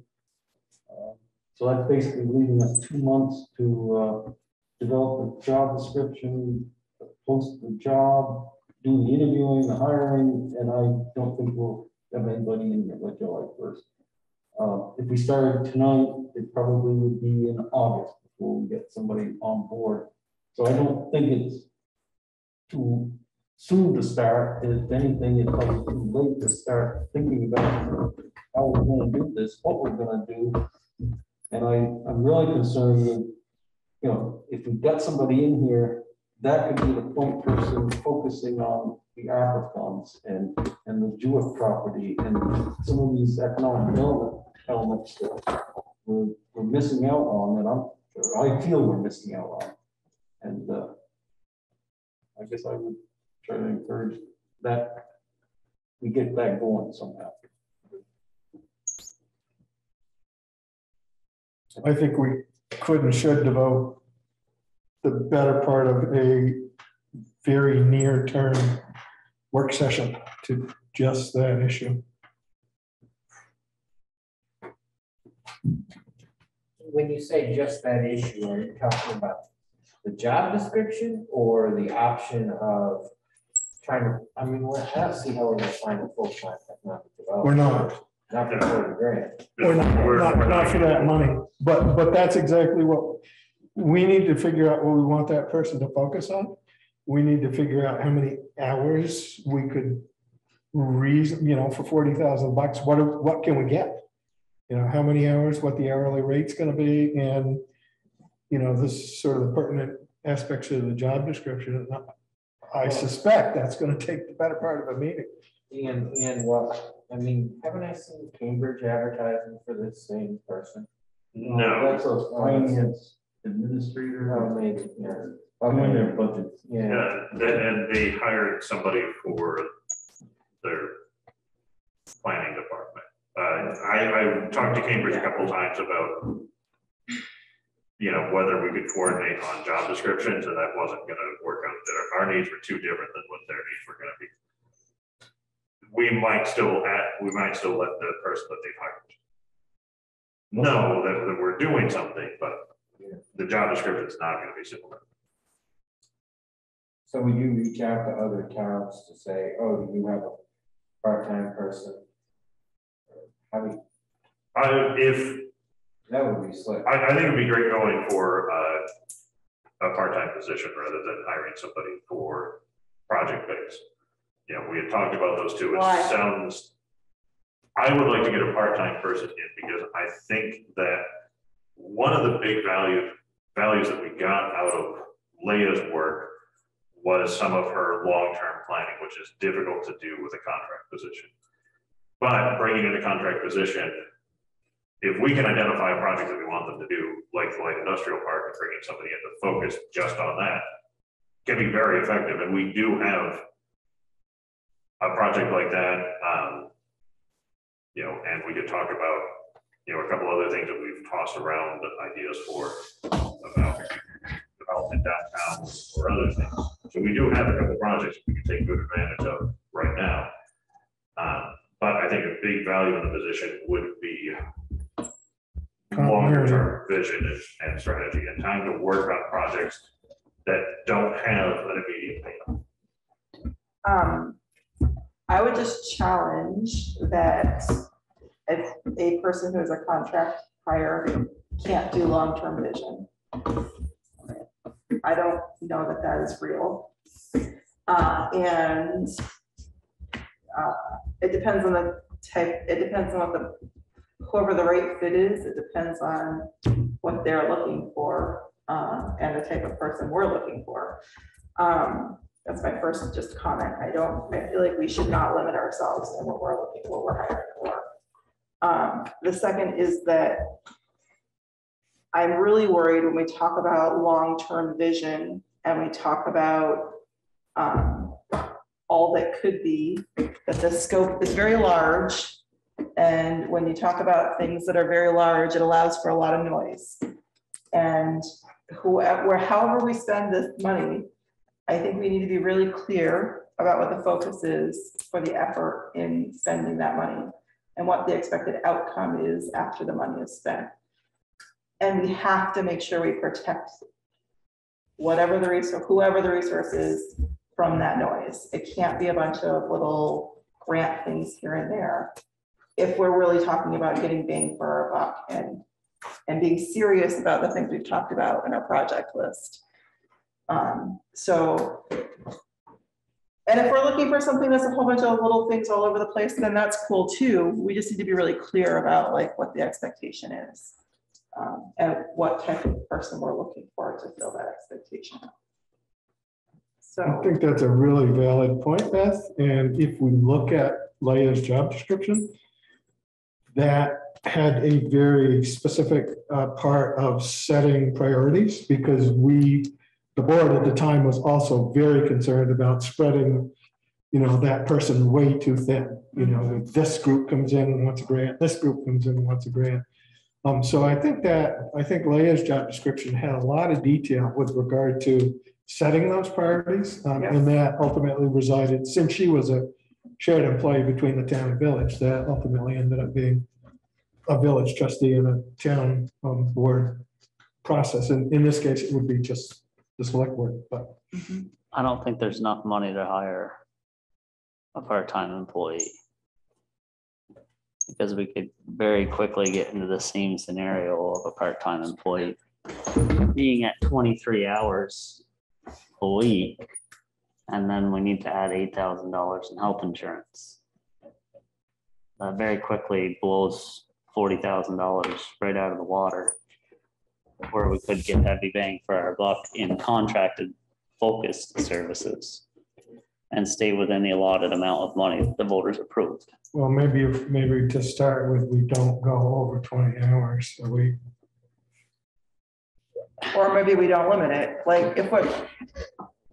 I'm just thinking from like, from my world, from my work world, we want somebody to, whatever effort they put into it, we want them to put that effort in and focus on that thing. Now, if we hire somebody who prefers to work fifty hours a week, um, you know, so be it. Go for it. You work as much as your heart, you work to your heart's content. The voters And- did not approve something that would support an employee that worked that many hours. Who cares? Who cares how We, many hours? we have a, we have a maximum limit- limited dollar amount. We have a, it's project based. It's not, that's what I mean. If we're hiring someone else project based with expectation. Yeah, so if they want to work for twenty-five cents an hour, they can? Yeah, I don't want. I thought you were talking about an employee, No, not no, a no. Yeah, project. no. No, I'm not talking about. So shouldn't this be part of a, a work session discussion? It should, about all- yes. All of this? It definitely I should. think that's Eric's point, is we need to start talking about it and figuring out what it is that we want or can do for forty thousand bucks. Yep, okay, yep. Should have a lot of meeting time available coming up. Can Right? you see? What the- schedule are you looking at, bud? That's what I was thinking about this whole meeting. Like, okay, we keep talking about pushing this thing off and then this thing and then this thing. Um, okay. Noted, and yes, let's do it. Um. Okay. Did that cover everything around that? No, it's not. Okay, thank you. Uh, next up is the northern borders. Yep. Do you want me to? Go ahead. Um, so northern borders, we talked about northern borders momentarily in our project planning uh, work. Brian mentioned that um, he was gonna start working on a letter of intent and um, we quickly, we didn't even talk about it really, we quickly moved on to all things ARPA. Um, and I know that because I rewatched the section of our discussion, so I wanted to be clear about what happened. Um, in all of that, uh, the Northern Borders changed their deadline from what I understand. Uh, from talking with Brian, they changed their deadline, at sorry, they changed the uh, letter of intent requirement. And it was required this year and it hasn't been prior years, and an assumption was made that it was not a requirement. So, long story short, we missed the deadline to get the letter of intent in and um, will not be able to submit for application this year for the Northern Borders grant. Um, There is opportunity of following years, although there are some uh, concerns around our likelihood to get awarded grants in the future, um, but we don't know how real they are or aren't. So that's where we stand with Northern, Northern Borders, unfortunately. Uh, we were, we had talked about previously, um, using some of our ARPA money as match funding uh, for some of the Northern Borders too. And that still could be the case if we were awarded or the, a Northern Borders grant next year. That's really a possibility is my understanding. Did I miss anything? No, I, would say that it's, there are other development grant opportunities. It's not our only one. But that was a big one. That was a big one, and that was a likely candidate. We're a good fit for it. Yep, Yep. so it's not a good news story, for sure. Sure, this doesn't happen again. I mean, We, we missed a couple of opportunities in the past. And we brought Seth on board to supposedly chase these things and keep on top of them. Um, and yet here we missed another one. How can we ensure this doesn't happen? The, the next time we're ready.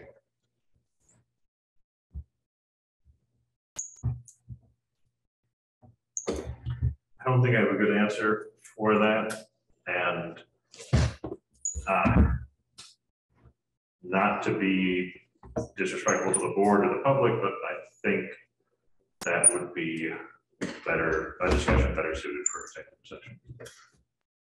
Was. Okay.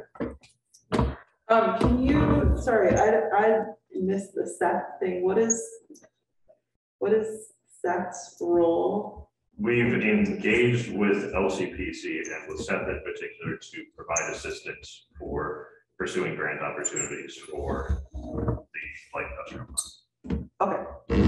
Okay.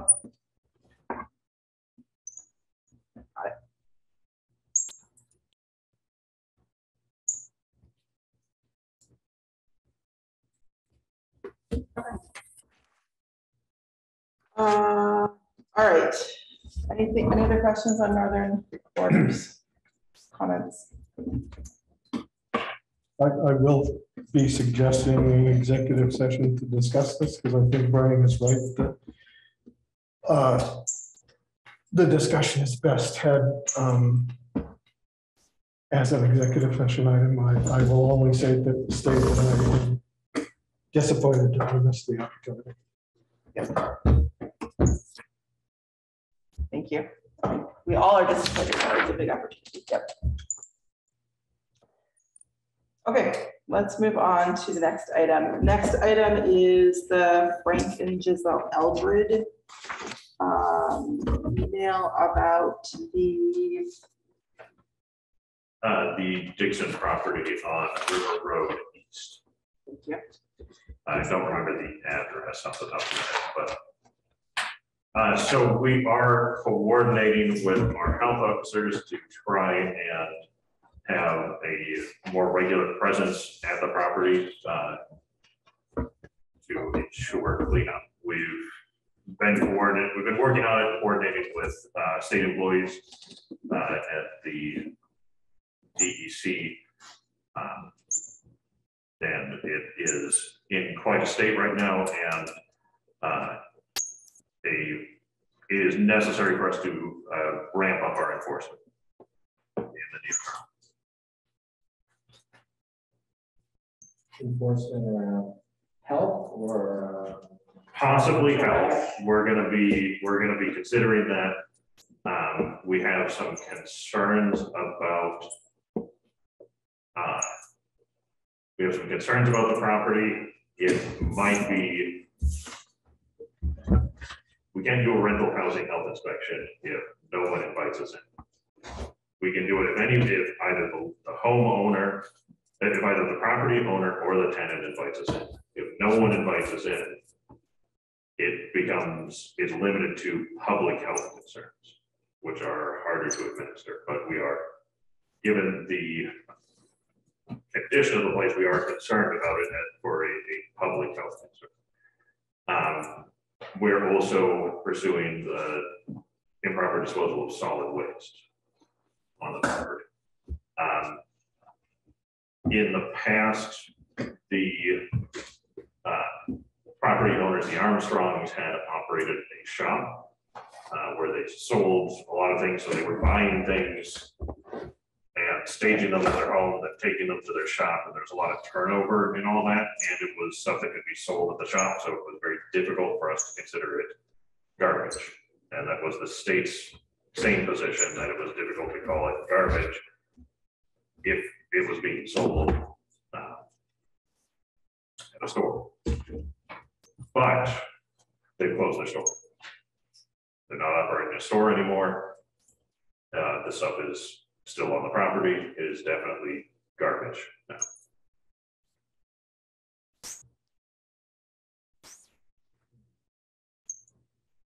Why do we think we'd be any more successful this time? I think we're gonna run into all the same problems that we had last time. Uh, but I, I wanna step this up because we do have a new property owner now. Property has changed hands. Um, Yeah, so I really wanna step up the enforcement so that we don't have somebody settling into the same patterns. You know, that we had a lot of trouble dealing with the Armstrongs over time, so when we got limited cooperation with them, we really pursued that. Limited cooperation, because we thought that was a better avenue than getting stonewalled. Uh, I don't wanna let, with a new property owner, I don't wanna let it settle into that same low expectations again. I, I don't disagree, I, I just, we've been dealing with that property for a decade, and it's just very, very frustrating. It is, I mean, full honesty, it's gonna be really frustrating. We're gonna make slow, small, uh, we're gonna make very little progress on it. You know, we're gonna write a lot of fines that, you know, get thrown out or, you know, maybe they get paid. But it's, it's gonna be slow and frustrating. I, I think I asked the question, so I'm gonna offer a couple thoughts. Um, I agree with Brian that we should step up the enforcement. I also agree with Eric that we're not likely to get a lot of uh, bang for the buck on it, but I don't think it absolves us from our responsibility to at least try. Um, In another aspect that I think is important, um, I saw that, everybody saw the videos. Um, in my mind, there's no way that that could not be considered a violation of our solid waste ordinance. Um, and we should issue fines and we should make sure those notices of violation get recorded in the land records. Because failure to cure a violation is a cloud on title, and if they should need to go get a bank loan or any reason, get a title review, that is gonna be a major hurdle for them, and it would be an impetus for them to clean it up. So that's one very small thing that we can garner out of this. Um, I don't, I totally agree with what he said about the health issues and health concerns. That's probably not an avenue that we're gonna be hugely successful in. I wonder also though about the dilapidated building ordinance that we adopted, if that, it applies here. And I also will say that I have received uh, some concerns from residents about properties on Stern Street, about abandoned buildings um, and whether or not we should be pursuing those On buildings. Stern- into the Where's Stern dilapidated- Street? Uh, Route 106. Uh, yeah, I, I- so on, um, July, I put dilapidated this building review, July-ish. I don't know, I just picked a month. It was the lowest month I could find any events happening. Uh, but it is on the list to, to, uh, do something with. Those are pretty awful looking, agreed. They are, and I feel bad for the Eldreds. I, I, I know they have been dealing with this for a long, long time, and I feel we owe them at least some effort, even if it, even if it is gonna fail. Um, I really think we should try and do something to, And it, we have been working with the Armstrongs all along. But it's been very little progress. Uh, but, yeah, this is a good opportunity to really step up our efforts and, you know, put more pressure on them. Okay, we're getting really close to a meeting that's going too long. Let's, uh, so thanks for asking. Hope that helps. We'll keep plugging away, keep asking. Uh, next up is executive discussion to, um, from our attorney regarding tax appeal. The, so the town is involved in ongoing tax appeal, uh, involving, I think it's public record who were involved, all right, Rosemary? Uh, with Michael Lazar of AG Self Storage.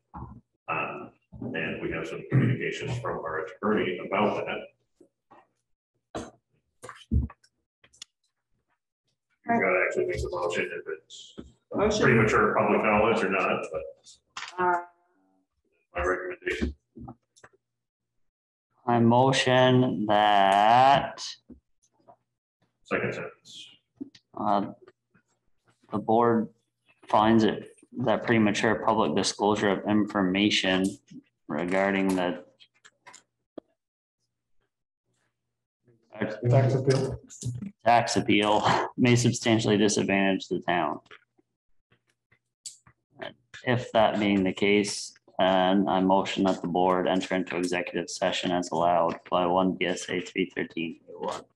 Motion to a second. It's a two-part motion. Right, it's good enough. That, that sounds good enough. Second, Uh, okay. Why do we need it? Okay, we don't need to. All right, uh, all those in favor signify by saying aye. right? Aye. Okay, all those opposed, ayes have it. So we are in executive session at nine